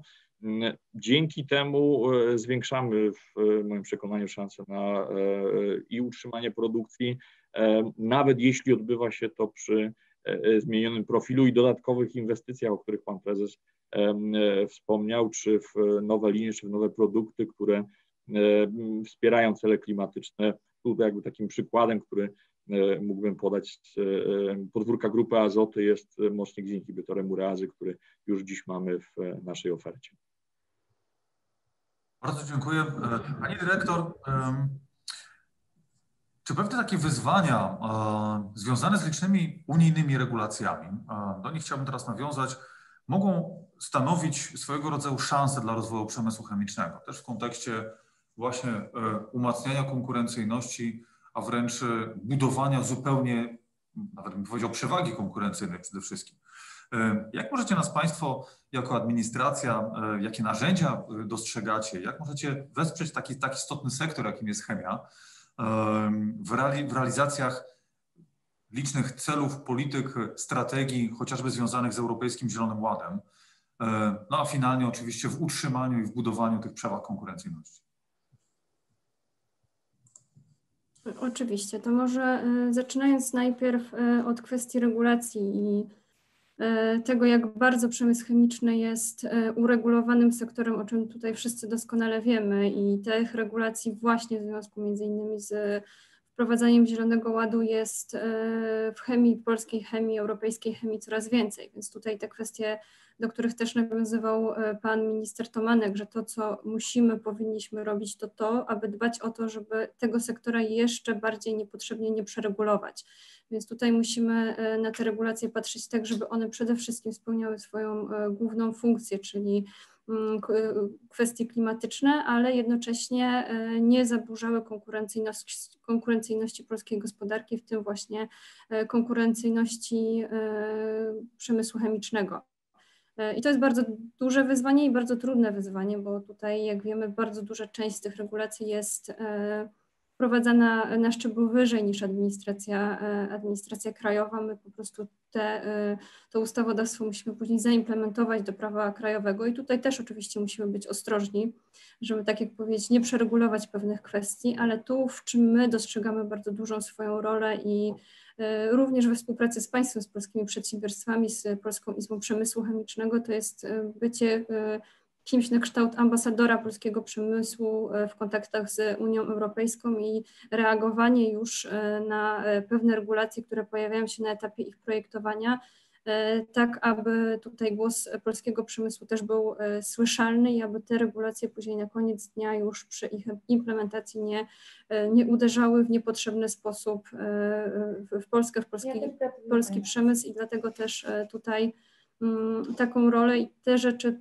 u mnie w departamencie na pewno, na, na pewno kładziemy na to bardzo duży nacisk, żeby właśnie aktywnie i z wyprzedzeniem pewne kwestie wyłapywać podczas już różnych negocjacji dokumentów czy rozmów z Komisją Europejską. A wracając trochę do drugiej części Pana pytania odnośnie tego, czy mm, te wszystkie regulacje i zmiany możemy traktować jako szansę dla rozwoju przemysłu, to wydaje mi się, że tutaj e, przede wszystkim w ten sposób powinniśmy na to patrzeć, bo trzeba zauważyć, że e, te regulacje wynikają e, oczywiście z potrzeb klimatycznych, ale zauważmy też, że mm, konsumenci są coraz bardziej świadomi to, w jaki, jak, jakiego typu dobra finalne, z jakim śladem środowiskowym, śladem węglowym są wprowadzane ostatecznie do, do, do dóbr finalnych, to ma coraz bardziej, to nas bardzo cieszy, coraz większe znaczenie też wśród kupujących, e, kupujących te produkty. E, więc tutaj w ten sposób e, należy na to patrzeć też w sposób taki, że te innowacje, które są związane z Zielonym Ładem, one wpływają na poprawę procesów produkcyjnych czy efektywności energetycznej, więc po tym ciężkim czasie dostosowawczym, w którym teraz jesteśmy, wierzymy, że po prostu model gospodarki, gospodarki obiegu zamkniętego będzie po prostu modelem dużo lepszym, dużo bardziej wydajniejszym nie tylko dla środowiska, tylko również dla, dla gospodarki samej w sobie. A co możemy zrobić, żeby, mm, co powinniśmy robić, to jest to, żeby ten proces transformacji, który, z którym się teraz e, mierzymy, po prostu był jak najłagodniejszy dla polskich firm i żeby polskie firmy przeszły przez niego e, w miarę suchą stopą, bo tutaj e, wszyscy wiemy, że każdy będzie musiał określone koszty transformacji ponieść. I tutaj wszystkie te fundusze, o których wspominała pani minister Jarosińska-Jedynak, też wszystkie kwestie, nad którymi pracujemy w Ministerstwie Rozwoju związane właśnie z nową polityką przemysłową, czy programy, które zaproponowaliśmy w ramach Krajowego Planu Odbudowy właśnie tym celom mają służyć. Więc tutaj z jednej strony są to te kwestie regulacyjne e, i e, mitygowanie wszystkich ryzyk, ryzyk z wyprzedzeniem oraz no, kwestie finansowe, bo transformacja rządzi się swoimi prawami i tutaj duże nakłady ze strony, ze strony poszczególnych firm przemysłu będą musiały zostać poniesione. Pani dyrektor, e, myślę, że sformułowanie, którego dzisiaj użył pan minister Tomarek, będzie wielokrotnie cytowane przez nas też. Będziemy się z tym przypominać, żeby regulacje dotykające polską chemię były jak najmniej dotkliwe. Ale faktycznie, co w tym zakresie moglibyśmy zrobić? Bo e, oczywiście samo założenie, każdy by chciał, żeby było jak najprościej. Finalnie często mm, to funkcjonowanie, szczególnie wokół wielu regulacji, ma charakter reaktywne wyłapywania pewnych niuansów, e, tych krytycznych dla branży, dla wielu przedsiębiorstw, a może wprowadzenie takiego elementu, e, no chociażby z jednej strony uznania formalnie sektora jako strategicznego, czy też rozpoczęcia dyskusji na poziomie tworzenia regulacji, a nie w momencie, kiedy ona już jest na stole i wtedy zgłaszamy wszelkie niuanse i krytyczne punkty, wąskie gardła i zagrożenia i ryzyka, E, a może by to był, to byłby taki ruch, który pokazałby, z jednej strony ułatwiłby administracji e, pracę nad e, dobrym efektem wdrażania regulacji, faktycznie zniwelował ten element ryzykowny i potem konieczność, można powiedzieć, wyłapywania przez dłuższy czas tych ryzyk potężnych, a z drugiej strony na tym etapie tworzenia dla branży, która no co by nie była, jest gigantyczna, a od niej też potem wiele skutków jakby dotyka też innych sektorów, które są na przykład produktowo powiązane, mogłaby zdecydowanie inaczej planować, przewidywać, e, wdrażać, analizować, e, o, za chwilę planować może dotacje finansowe i tak dalej. Co Pani na to, Pani Dyrektor? E, Panie Prezesie, oczywiście tutaj kwestie konsultacji, o których ja już powiedziałam na początku i kwestie związane z odpowiednim właśnie wyłapywaniem poszczególnych ryzyk na wcześniejszych etapach są bardzo ważne i tutaj nie, mm, nie rościmy sobie do tego prawa jako administracja i wiemy, że bez współpracy z państwem i bez tutaj e, też krytycznego głosu często przemysłu te, e, te regulacje nie, e, nie, no finalnie nie, nie przybierałyby kształtu, który byłby efektywny też dla ogółu gospodarki polskiej czy, czy europejskiej. Więc tutaj absolutnie pełna zgoda, że musimy na tym, na tym polu współpracować nie tylko w, w tworzeniu prawa tutaj na, na arenie administracji krajowej, tylko również aktywnie włączać się w cudzysłowie w lobbying, w lobbying europejski. Tutaj pełna zgoda, że ta współpraca musi między nami istnieć. Oczywiście do kwestii do, na pewno do dalszej dyskusji są kwestie związane z tutaj z wyłączeniem poniekąd przemysłu chemicznego i stworzeniem jakby odrobnej ścieżki dla, dla tych negocjacji tylko i wyłącznie dla, dla tego przemysłu, bo musimy zauważyć też i mieć świadomość, że kwestie właśnie związane z Zielonym Ładem, czy nawet ze strategią na rzecz chemikaliów są to kwestie, które mają e, zakres horyzontalny, w sensie one dotykają w bardzo dużej mierze przemysłu chemicznego i tutaj e, e, absolutnie się z tym zgadzamy, ale dotykają też szeregu innych polskich przemysłów i dotykają w podobnym aspekcie, bo jeśli mówimy o przemysłach energochłonnych i ich problemach, nie mówimy tutaj tylko o przemyśle chemicznym, mówimy też o przemyśle przemyśle stalowym i kilku innych tutaj ważnych branżach polskiej gospodarki. E, co nie zmienia faktu, że oczywiście strategiczność polskiej, e, polskiego przemysłu chemicznego jest e, bardzo ważna i tutaj też chciałam się nawet z Państwem podzielić, ale jeszcze nie, nie, nie jesteśmy na takim etapie Tutaj praca nad naszą matrycą ma dosyć e, mocno roboczy jeszcze charakter. W każdym razie właśnie pracując nad, e, nad polityką przemysłową stworzyliśmy taką e, macierz rozwojową, gdzie w oparciu o poszczególne osie rozwojowe patrzymy na, na przemysły i tutaj trzeba powiedzieć, że przemysł chemiczny niemalże w każdym miejscu zaświecił nam się na zielono, co pokazuje jakby jego wpływ też na inne sektory gospodarki i na jego właśnie strategiczność dla, dla, dla finalnie dla, dla całego PKB, czy już e, szerzej mówiąc też e, wartości dodanej w polskim i europejskiej gospodarce. Bardzo dziękuję. E, zaświecił się na zielono, ale to nie tylko rozumiem w związku z zielonymi trendami, które mamy, chociaż to też jak najbardziej polska chemia zieloną jest z punktu widzenia swojej dbałości o środowisko, to wiemy. Też w związku, z, w związku tak? z wyzwaniami, które stoją przed polską chemią, panie prezesie. Tak, oczywiście. To Och, no, tych wyzwań jest dużo, więc zakładam, że dużo zielonego koloru na pewno.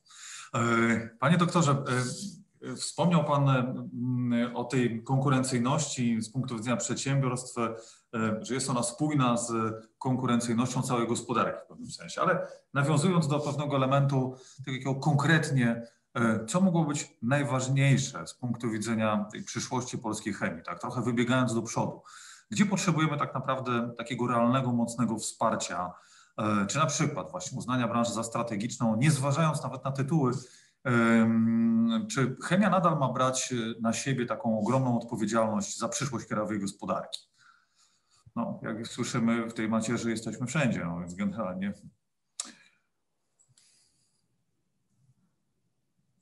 Panie doktorze Arkadiuszu Kamiński. A, pytanie skierowane do mnie. E, hmm. Cytując y, pana prezesa, że chemia ma wpływ na inne branże, należy zgodzić się no, dość obrazowym stwierdzeniem, że chemia żywi, leczy, ubiera. Bez chemii nie ma przyszłości. Wielowątkowość chemii, przestronne oddziaływanie, obecność jej, kluczowe znaczenie dla sprawnego funkcjonowania każdej gospodarki i dziedzin naszego życia jest chyba oczywista. No mówiąc kolokwialnie, bez chemii nie ma życia. Potrzebne są nam i naszej planecie nowe materiały, lekarstwa, nawozy. No, w związku z tym sektor jest odpowiedzialny, realizuje działania w kierunku e, odpowiedzialności społecznej, ale i środowiskowej, starając się dostarczyć na rynek oczekiwane projekty.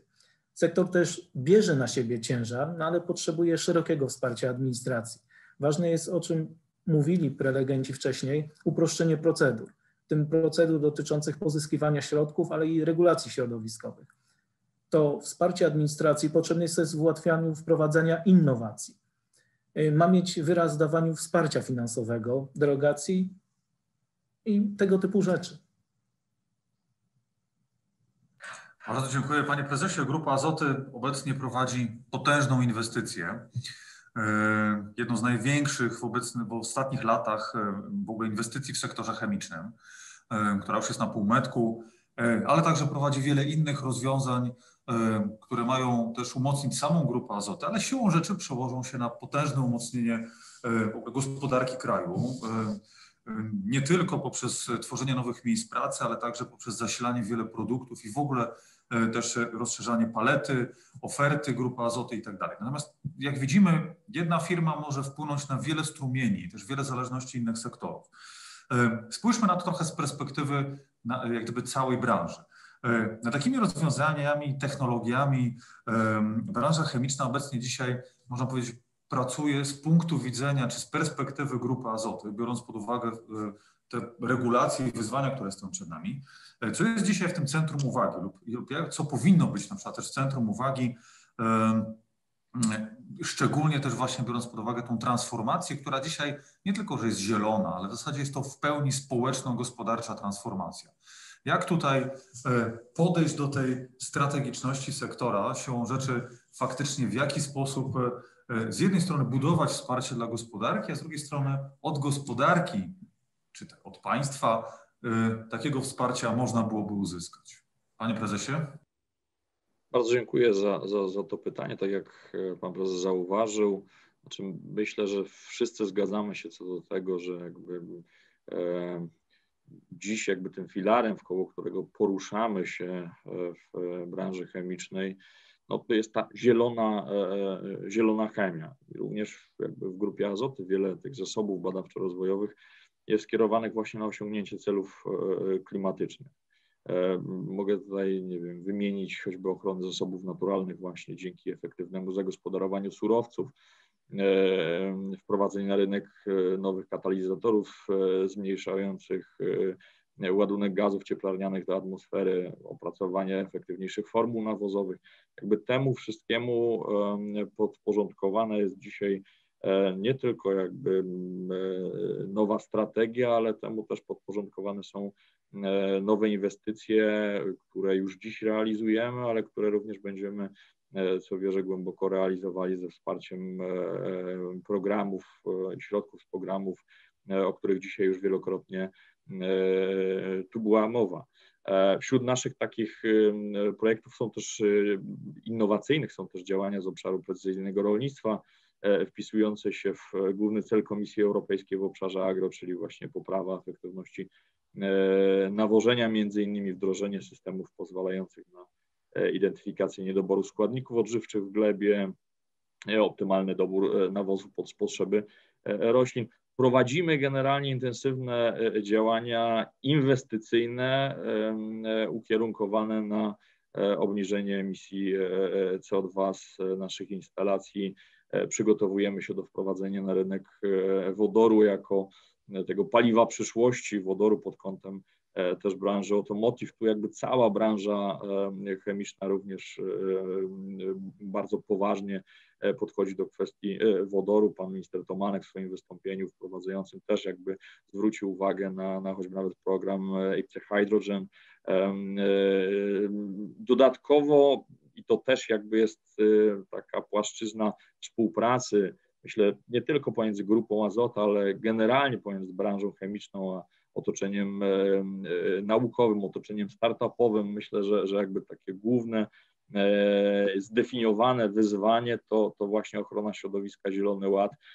Patrząc z perspektywy grupy Azoty, właśnie chcielibyśmy zintensyfikować naszą współpracę i ze startupami, z otoczeniem naukowym, e, nakierowaną właśnie na poszukiwanie innowacyjnych rozwiązań e, z obszarów takich jak gospodarka obiegu zamkniętego, recykling tworzyw czy e, nowoczesne systemy redukcji emisji.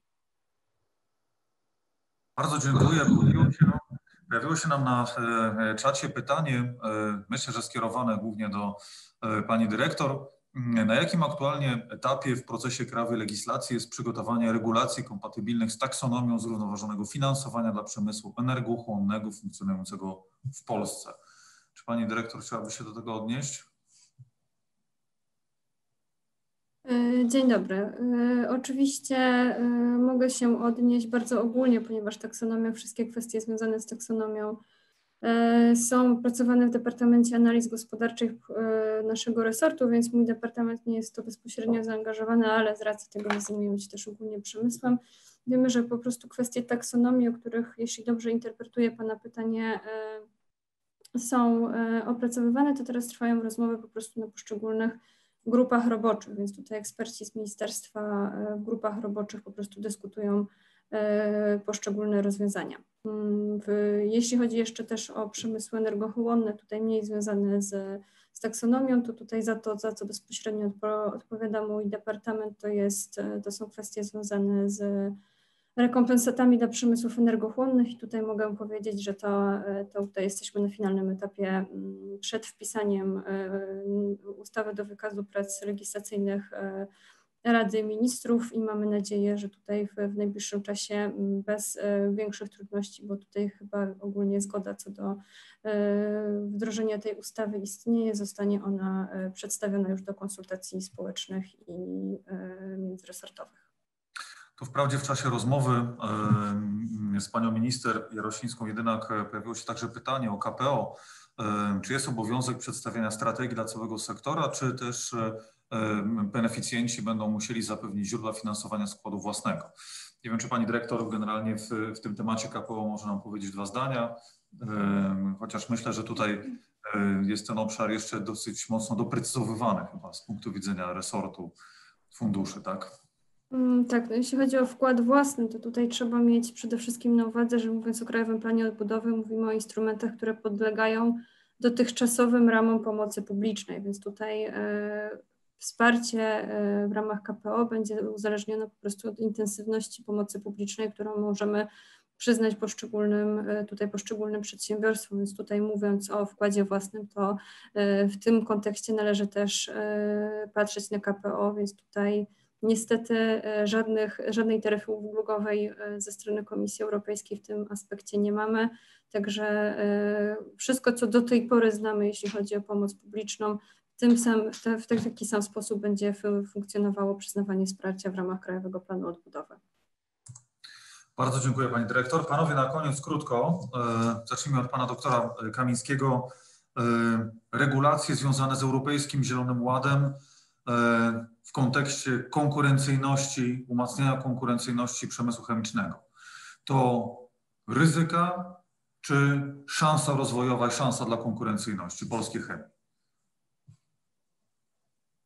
Jeżeli ja miałbym pierwszy zabrać głos, to w mojej opinii jest to szansa. Każde przedsiębiorstwo powinno dążyć do określenia czynników, które zapewnią mu tą trwałą przewagę konkurencyjną, od, o której mówiliśmy. I wyzwania w związku z tym, takie jak European Green Deal, dekarbonizacja, zeroemisyjność, poprawa efektywności, zasobooszczędna gospodarka, no to są nasze determinanty działań i to wyraziliśmy w naszej strategii Orlen 2030.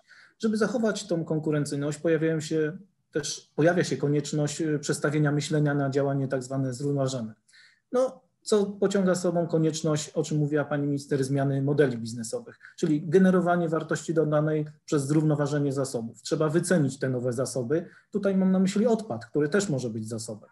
W nowym modelu y, sprzedaży, na przykład usługa plus produkt, należy kłaść nacisk na ekousługę. Materiał zawracany do obiegu też może być usługą. Nowe strategie sprzedaży, czyli sprzedaję produkt, odkupuję materiał. Zasób, czy pomniejszam cenę, bo odbieram ten zasób. Musimy też przebudować lub kształtować nowy wizerunek, mierniki, ratingi, pytanie o ich dokładność. To bardzo ważny element dotarcia do społeczeństwa i tu pani dyrektor o tym mówiła. Mówiąc o zachowaniu konkurencyjności, wyzwaniu, to ja bym też zwrócił wyzwanie, uwagę na wyzwanie, jakie e, dostarcza oczekiwanie społeczne i klienta. I nie jesteśmy w stanie wycenić na przykład lepszego powietrza, czystszej wody, no ale trzeba uważać na deklaracje versus działania proelegiczne i nastawiane społeczeństwo obietnice, bo społeczeństwo w pewnym momencie powie sprawdza. Jeśli dany przedmiot nie wywiąże się z deklarowanych wcześniej obietnic, to pojawi się hejt społeczny, który obniża wartość przedsiębiorstwa, nie pomaga mu i pogarsza jego konkurencyjność. Tu przykład chociażby Deep Horizon, w Zatoce Meksykańskiej, tak jak spadły akcje, jak e, e, spadła wartość przedsiębiorstwa BP. No i czy szczepionka, tak? AstraZeneca, ostatnie działania, które pojawiły się w internecie, które wpływają na stosowanie chociażby też czy sprzedaż tego produktu. Panie prezesie, e, Europejski Zielony Ład, konkurencyjność, szanse, wyzwania, ryzyka. Panie prezesie, oczywiście Europejski Zielony Ład to dla naszego przemysłu sporo wyzwań, ale wyzwań, które e, możemy przekuć w e, sukces i nad tym myślę wszyscy pracujemy. Przemysł chemiczny jest e, dzisiaj najbardziej złożonym sektorem gospodarki, zarówno pod względem skomplikowania procesów łańcuchów produktowych, jak i mnogości wpływu na inne branże, o czym już wielokrotnie dzisiaj była mowa w trakcie naszej dzisiejszej debaty. Także ja nie wyobrażam sobie, żebyśmy zarówno patrząc przez pryzmat naszych portfeli produktowych, zarówno patrząc przez pryzmat inwestycji, które realizujemy, E, e, nie przekuli e, tego wszystkiego, co wiąże się z Europejskim Zielonym Ładem w sukces przemysłu chemicznego. Przemysłu chemicznego, czyli strategicznego przemysłu polskiej gospodarki, bo wierzę głęboko, że w nowej polityce przemysłowej ten nasz sektor zostanie oficjalnie za takie uznany. Dziękuję. Bardzo dziękuję. Dziękuję Państwu za e, rozmowę w tej części panelu. Moimi rozmówcami były panem, pani Marlena Tryka, dyrektor Departamentu Innowacji Polityki Przemysłowej Ministerstwa Rozwoju Pracy i Technologii. Dziękuję Pani Dyrektor, że była Pani z nami. E, jak również e, moim rozmówcą był pan dr Grzegorz Kądzielawski, wiceprezes Grupy Azoty SA. Dziękuję panie prezesie. Dziękuję bardzo. Za rozmowę. E, a także moim rozmówcą był pan dr inżynier Arkadiusz Kamiński, ekspert z obszaru członka Zarządu Spraw Operacyjnych PKN Orlen SA. Dziękuję Państwu bardzo za uwagę, ale przechodzimy od razu już do drugiej części panelu dyskusyjnego Strategiczność polskiej chemii kluczem do konkurencyjności gospodarki. Są z nami Pan Jarosław Wrubel, wiceprezes Zarządu do Spraw Inwestycji i Innowacji Grupa Lotos S.A. Dzień dobry panie prezesie ponownie, widzimy się i słyszymy, tak?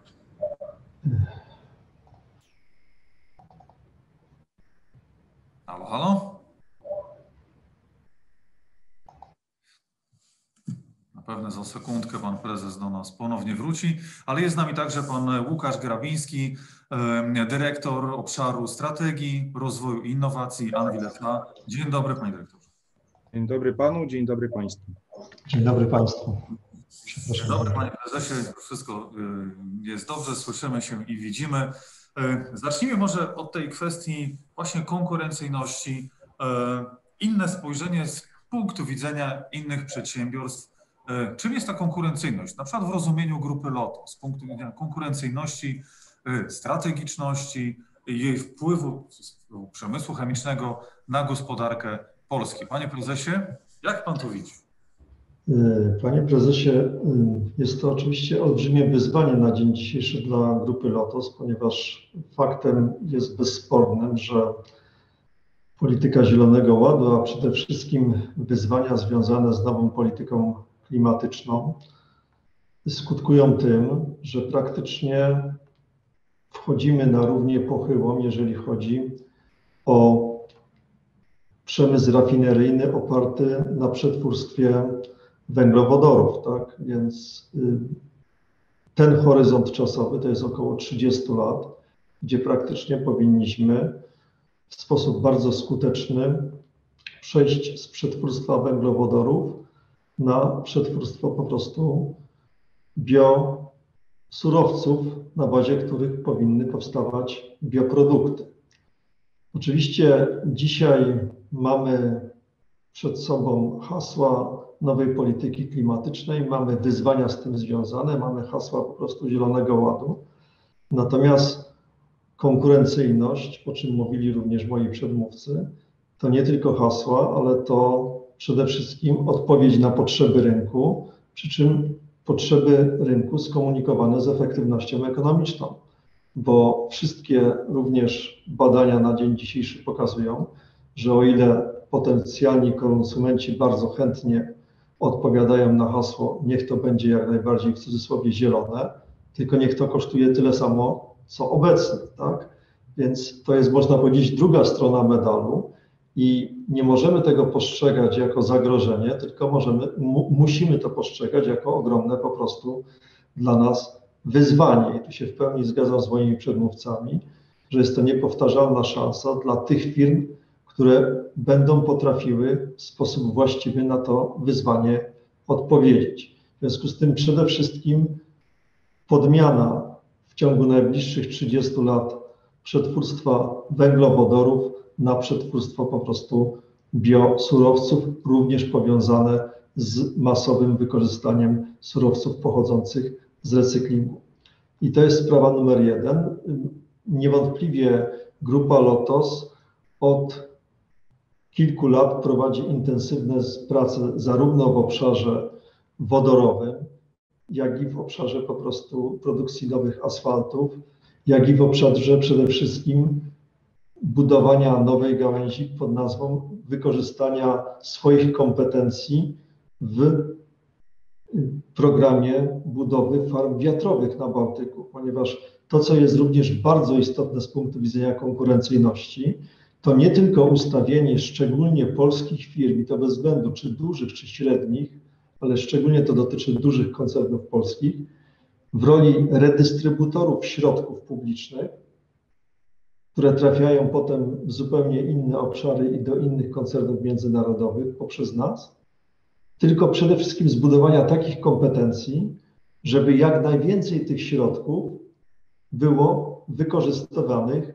między Bugiem a Odrą i żeby kompetencje, które umożliwiają skonsumowanie tych środków do krwiobiegu polityki gospodarczej, znalazły się w Polsce. Bardzo dziękuję. Rozumiem, że to szczególnie ten element, o którym wspomniał pan prezes w ostatniej części wypowiedzi,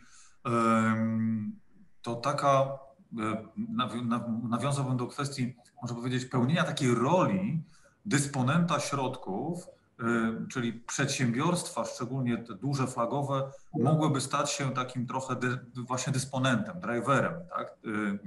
Że dobrze rozumiem Pana wypowiedź w tym zakresie. Znaczy, niewątpliwie one z, z jednej strony powinny być driverami, ale również wokół siebie na różnych poziomach powinny budować system naczyń po prostu połączonych, ponieważ każda duża korporacja żyje przede wszystkim z pełnego łańcucha w ramach kooperacji. Tak? To nie jest tak, że wszystko wytwarzamy po prostu w, w, w korporacji. Musimy się kierować przede wszystkim jak największą efektywnością obsługi poszczególnych procesów. Natomiast najważniejsze jest to, żeby środki, i to bez względu, czy my je jako korporacja pozyskujemy z punktu widzenia źródeł zewnętrznych, czy są to nasze wewnętrzne źródła finansowania, były i służyły do zasilania przestrzeni gospodarczej w Rzeczpospolitej Polskiej, tak, żeby polska polityka gospodarcza mogła z tego jak najwięcej po prostu konsumować. Hmm. Bardzo dziękuję. E, jest z nami pan e, dyrektor Grabiński spółki Anvil. E, panie dyrektorze, nawiązując do kwestii konkurencyjności właśnie, mając na myśli też to, że Anvil jest w trakcie realizacji potężnej inwestycji w obszarze nawozowym, to oczywiście z jednej strony też, można tak powiedzieć, podniesienie konkurencyjności samej spółki ale też podniesienie konkurencyjności gospodarczej kraju, biorąc pod uwagę też na przykład w ogóle udział tego typu inwestycji w, w całym segmencie agro. E, jak pan widzi konkurencyjność dla polskiej chemii? Tak? E, przez jaki pryzmat powinniśmy na nią patrzeć? Panie dyrektorze? Dziękuję bardzo za to pytanie. I może zacznę od ustosunkowania się do tego, o czym Pan raczył wspomnieć, czyli naszej inwestycji nawozowej. E, już pod koniec przyszłego roku powinniśmy zaoferować rolnikom około pół miliona ton e, wysokiej jakości nowoczesnych e, nawozów sztucznych. Dla przypomnienia powiem również, że aktualnie import nawozów do Polski wynosi w granicach miliona 200 tysięcy ton, więc zakładam, że mamy duże, dużo miejsca jeszcze takiego, żeby ten popyt wewnętrzny zaspokajać produkcją krajową, tak żeby nasza gospodarka na tym zyskiwała. E, tutaj lokalna społeczność e, Włocławka i okolic również, bo wiadomo, że e, nasza produkcja wiąże się z odprowadzaniem podatków zarówno do budżetu Skarbu Państwa, jak i tutaj samorządowo. To również ogromna inwestycja w kapitał ludzki, z uwagi na to, że to około 100 dodatkowych miejsc pracy w Anwilu.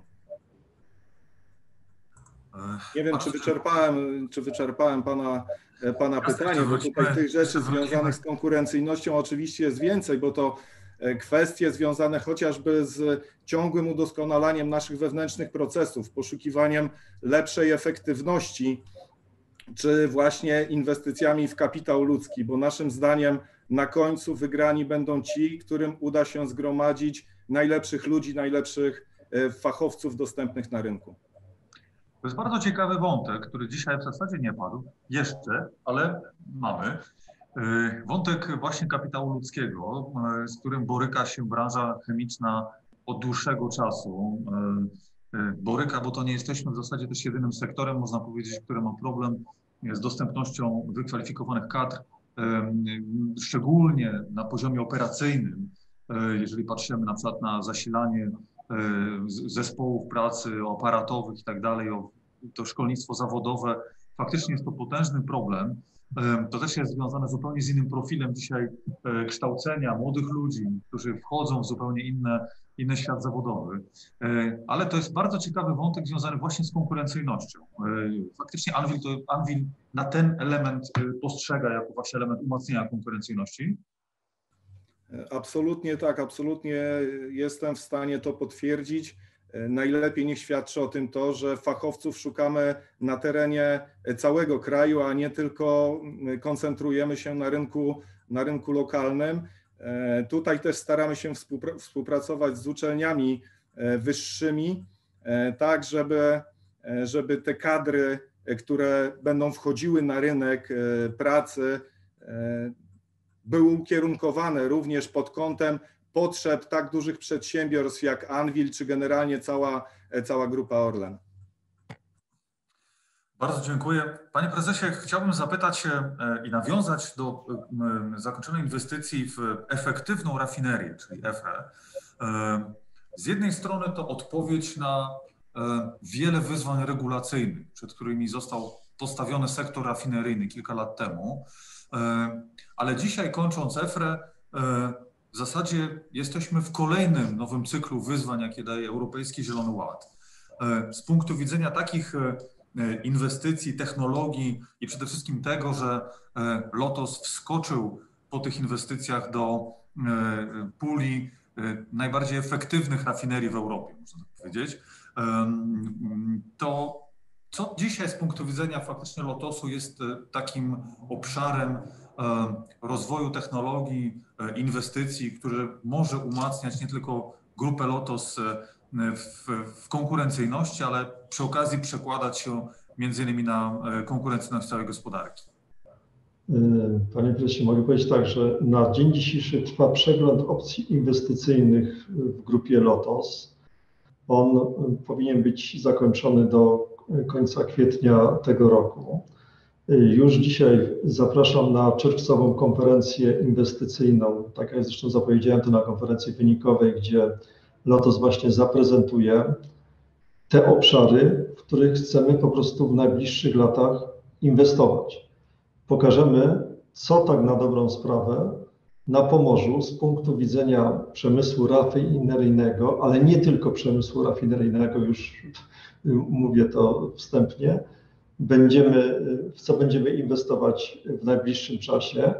A nie jest żadną tajemnicą, że na pewno szczególnym naszym obszarem po prostu zainteresowania jest kwestia związana z jednej strony z całym obszarem wodorowym, wytwarzania po prostu y, biowodoru, ale również kwestia produkcji na bazie wykorzystania biometanu jako paliwa, czy to do produkcji biowotoru, czy to do po prostu produkcji innych biokomponentów, które mam nadzieję będą y, w obszarze y, pomorskim po prostu powstawać. Co jest również bardzo również istotne, to na pewno będziemy chcieli rozwijać się w kierunku wykorzystania potencjału szeroko rozumianej y, grupy kapitałowej, grupy LOTOS, właśnie w obszarze farm wiatrowych, ale z punktu widzenia wykonawstwa, z punktu widzenia serwisowania, z punktu widzenia tych, którzy te środki będą przy budowie, można powiedzieć, farm wiatrowych, a przede wszystkim ich potem y, eksploatacji na Bałtyku konsumować, a nie tylko ścigać się, ile powstanie wiatraków. Czyli mogę tak podsumować, panie prezesie, że w zasadzie. Hmm, takie zielone inwestycje, e, biokomponenty, ale też e, elementy związane z odnawialnymi źródłami energii, jest to jeden z obszarów, gdzie Lotos dostrzega to umocnienie konkurencyjności, tak? Na pewno tak. W ogóle Lotos w tej chwili szykuje całe podejście z punktu widzenia łańcucha, co już sygnalizowałem na początku swojej wypowiedzi, odejścia z czasem, tak, od przetwórstwa węglowodorów, no bo na pewno klasyczne wydobycie po prostu czy to ropy naftowej, czy to gazu, tak, z węglowodorów, z punktu widzenia strategii klimatycznej, z punktu widzenia przede wszystkim Zielonego Ładu w Europie, no będzie musiał być za, zastąpiony na przetwórstwo biosurowców, tak? I tutaj w tym kierunku chcemy po prostu podążać. Z jednej strony wykorzystując oczywiście jak najbardziej, pan prezes powiedział EFRA, tak, EFRA tak, EFRA została skończona, wiadomo, że ona była y, również y, podyktowana tym, że przepisy regulacyjne w zakresie żeglugi też takie, a nie inne mia miały obowiązywać. Nie do końca się to sprawdziło, to też po prostu y, musimy sobie na dzień dzisiejszy powiedzieć, ale na pewno w najbliższej przyszłości liczymy, że te restrykcje będą po prostu jeszcze bardziej y, w tym kierunku opuszczone, ale poszukujemy tutaj, czy to z punktu widzenia wykorzystania również Y, tak jak mówię, y, kwestii związanych z, LNG, z CNG, y, z punktu widzenia przede wszystkim wykorzystania biometanu w całym łańcuchu wartości, naszej ogromnej po prostu szansy. I technologie wodorowe, tak, przede wszystkim technologie wodorowe. Bardzo dziękuję. Do tego wątku technologii wodorowych bym jeszcze wrócił, ale e, chciałbym zapytać e, przede wszystkim na spojrzenie pana dyrektora e, Grabińskiego z punktu widzenia Anwilu na te kwestie strategiczności i kwestie faktycznie podejścia do branży i przez branżę do tej roli, jaką wypełnia w gospodarce Polski. Trochę jak gdyby kontynuując wątek z poprzednich rozmowy, z pierwszej części panelu, E, to oczywiście duża odpowiedzialność w ogóle, którą ma chemia na sobie. E, tak możemy to powiedzmy podsumować, patrząc na cały pakiet regulacyjny, który, który dostajemy, e, zarówno na poziomie europejskim, jak i na poziomie krajowym.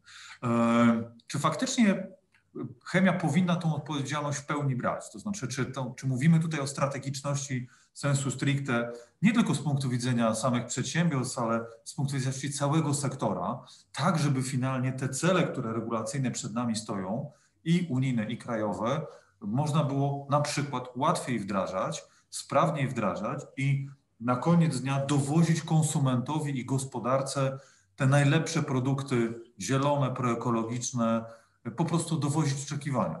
Panie dyrektorze? Panie prezesie, ja myślę, że my nie mamy wyjścia, bo patrząc na cyfry, które pan podawał na samym początku i to, że jedna piąta polskiej gospodarki to jest chemia, 12% y, ludzi zatrudnionych w przemyśle to jest chemia, a biorąc pod uwagę środki inwestycyjne y, generowane przez przemysł chemiczny dla polskiej gospodarki, to my absolutnie w tej chwili już możemy powiedzieć, że jesteśmy strategiczni, niezależnie od tego, czy e, oficjalnie e, jesteśmy uznani za e, sektor strategiczny, czy nie.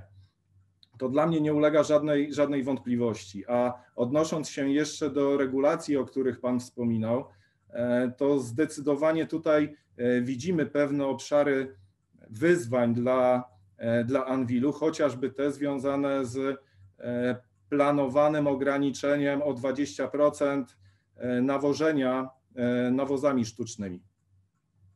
Bo tego typu e, regulacje mogą się pojawić w ramach Zielonego Ładu, bo o tym mówię. Oczywiście. Dobrze, panie prezesie, wracając do pana prezesa Wróbla, dzisiaj także padło przez pana dyrektora Kamińskiego takie hasło chemia żywi, leczy, ubiera, bez chemii nie ma przyszłości. Jak pan się odnosi do tej strategiczności? Oczywiście też nawiązując do tego, co powiedział pan dyrektor Grabiński, e, wskaźniki, które przemawiają za polską chemią są tak potężne i dobitne, że w zasadzie one same w sobie mówią tak, chemia jest strategiczna i na niej wszystko stoi e, i od niej wiele zależy, ale dzisiaj potrzebujemy potężnego wsparcia nie tylko, żeby e, budować konkurencyjność, to jest oczywiste, ale też, żeby uporać się z wieloma celami chociażby Europejskiego Zielonego Ładu, czy nawet celami regulacji na poziomie krajowym. E, jakich, jakiego wsparcia e, na przykład administracji publicznej oczekiwałby Pan, dostrzegałby Pan jakie wsparcie z punktu widzenia grupy LOTOS i też tym samym całego sektora chemicznego, Panie Prezesie?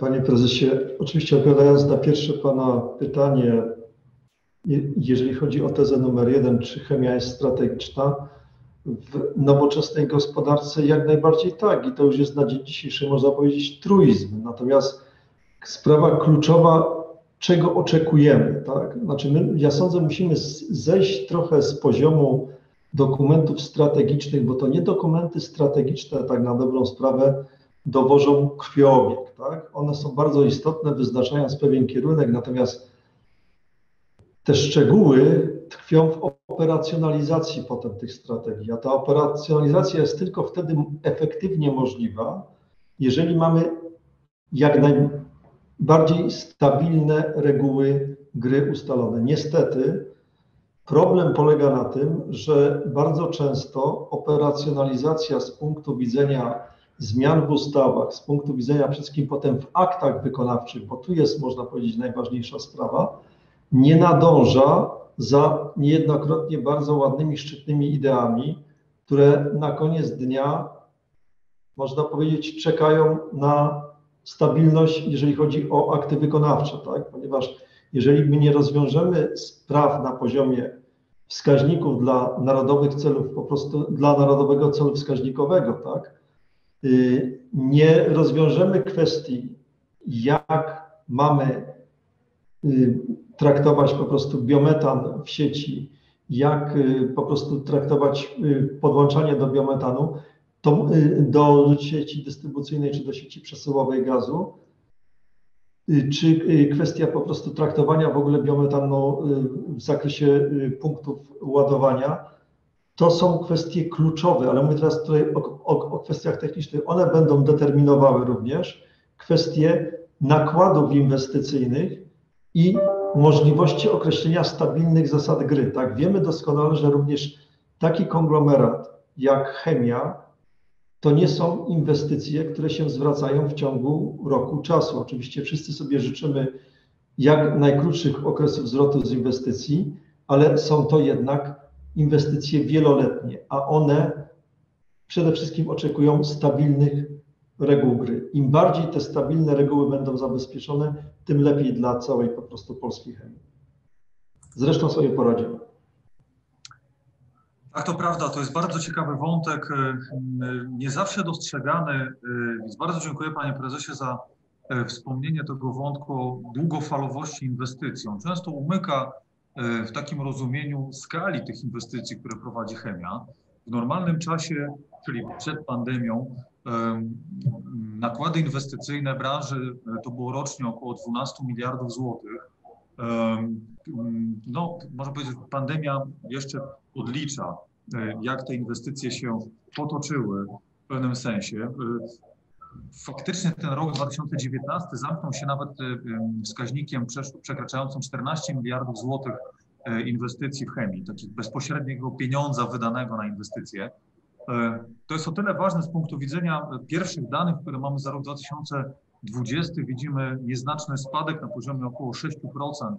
E, no, to i tak jest nieźle, biorąc pod uwagę to, jak mocno też e, wartość produkcji sprzedanej zadołowała, ale liczymy na to, że te pełne dane, które przedstawi Główny Urząd Statystyczny, niebawem w pełni pokażą sytuację w obszarze inwestycyjnym. Ważne jest to, że chemia kontynuowała wiele inwestycji, E, co z punktu widzenia gospodarki też było istotne dla jej ciągłości funkcjonowania sprawnego, można powiedzieć także dla innych branż. Ta długofalowość, o której Pan Prezes wspomniał, to jest też patrzenie takie stricte, stricte horyzontalne, e, także na tych wiele regulacji, które są przed nami, bo dzisiaj trudno sobie wyobrazić, żeby pewne inwestycje E, szczególnie w zakresie nowych produktów, usprawniania procesów wytwórczych, które muszą sprostać zupełnie nowym celom regulacyjnym, były nagle e, zrealizowane, one się nagle wymyśliły i nagle ktoś je przełożył z papieru czy z pomysłu na realizację i je zbudował. E, więc to jest na pewno bardzo ciekawy wątek, który też będziemy przekazywać jako ważny punkt dla administracji. Panowie, podsumowując naszą rozmowę, co będzie kluczowym wyzwaniem dla branży chemicznej w najbliższych latach, tak aby faktycznie ta konkurencyjność nie traciła za wiele, a wręcz przeciwnie była mocno cementowana i wręcz rozwijana w latach przyszłych. Zacznę od pana Presa Wróbla.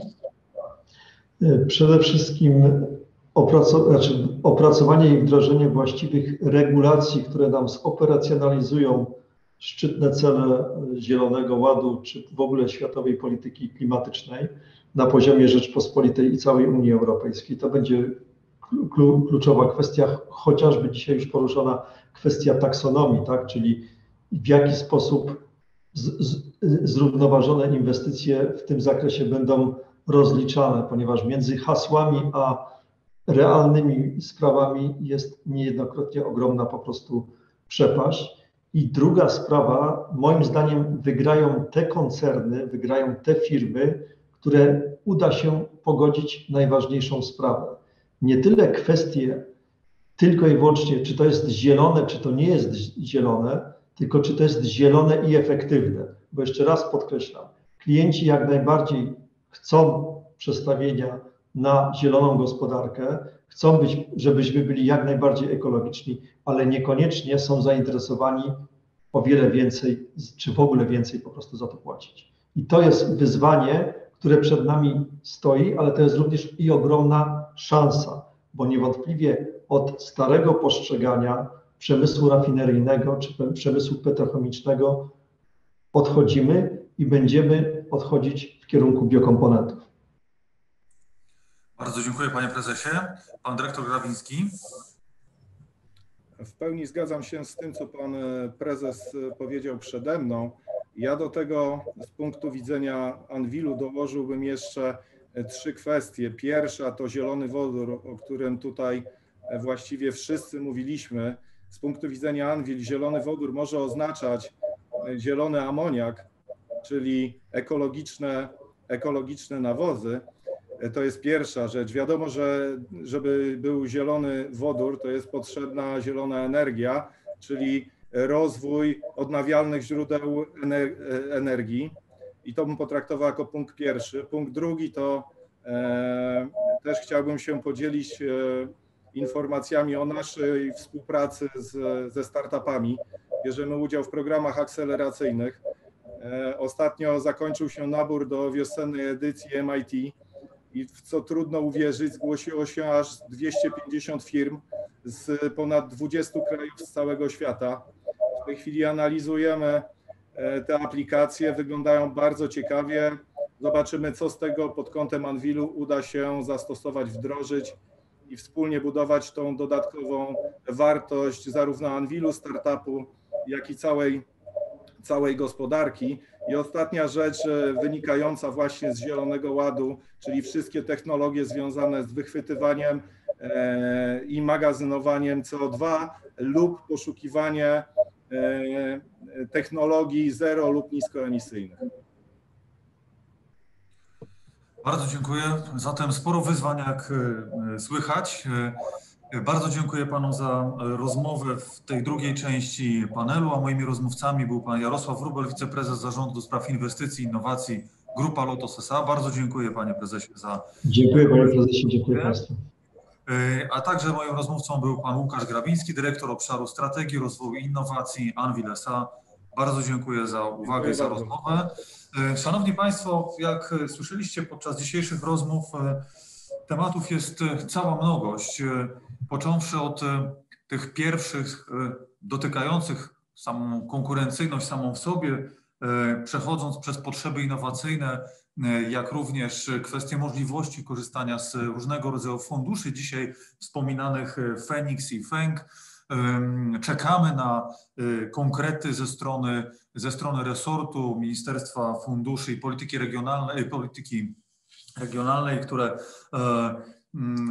ma być tym opiekunem e, funduszy. Może do końca roku pewne założenia będą. E, czekamy o tyle z niecierpliwieniem, że od tych funduszy będzie zależało wiele.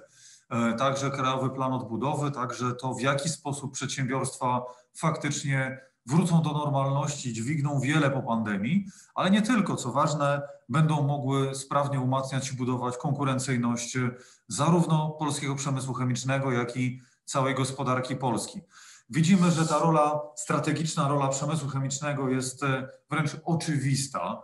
Na pewno wiele by nam pomogło ustanowienie sektora jako całego o takim charakterze strategicznym dla gospodarki, e, być może w zakresie sprawnego przechodzenia przez przygotowywanie, opracowywanie i wdrażanie dobrych regulacji, o których dzisiaj, o czym dzisiaj była mowa, czyli takich regulacji, którymi, które z jednej strony będą, jak to wspomniał dzisiaj pan minister Tomanek, najmniej dotkliwe dla firm, z drugiej strony takie, które będą faktycznie dla nas odpowiednio e, optymalizujące e, wdrożenie pewnych celów, jak chociażby Europejskiego Zielonego Ładu, o czym wspomniał pan prezes Wrubel, a finalnie wiele innych ruchów wspomagających wiele celów, od polityki wodorowej przez odnawialne źródła energii. Och, jest tego dużo. Finalnie nad tym wszystkim innowacyjność, która też ma E, pchnąć dalej przemysł chemiczny nie tylko w wypełnianiu Europejskiego Zielonego Ładu, ale faktycznie w umocnieniu e, naszej konkurencyjności. Bardzo Państwu dziękuję za uwagę, wszystkim moim mówcom również. Również e, oddaję głos do naszego studia, studia Polskiej Izby Przemysłu Chemicznego. Dziękuję Państwu za uwagę.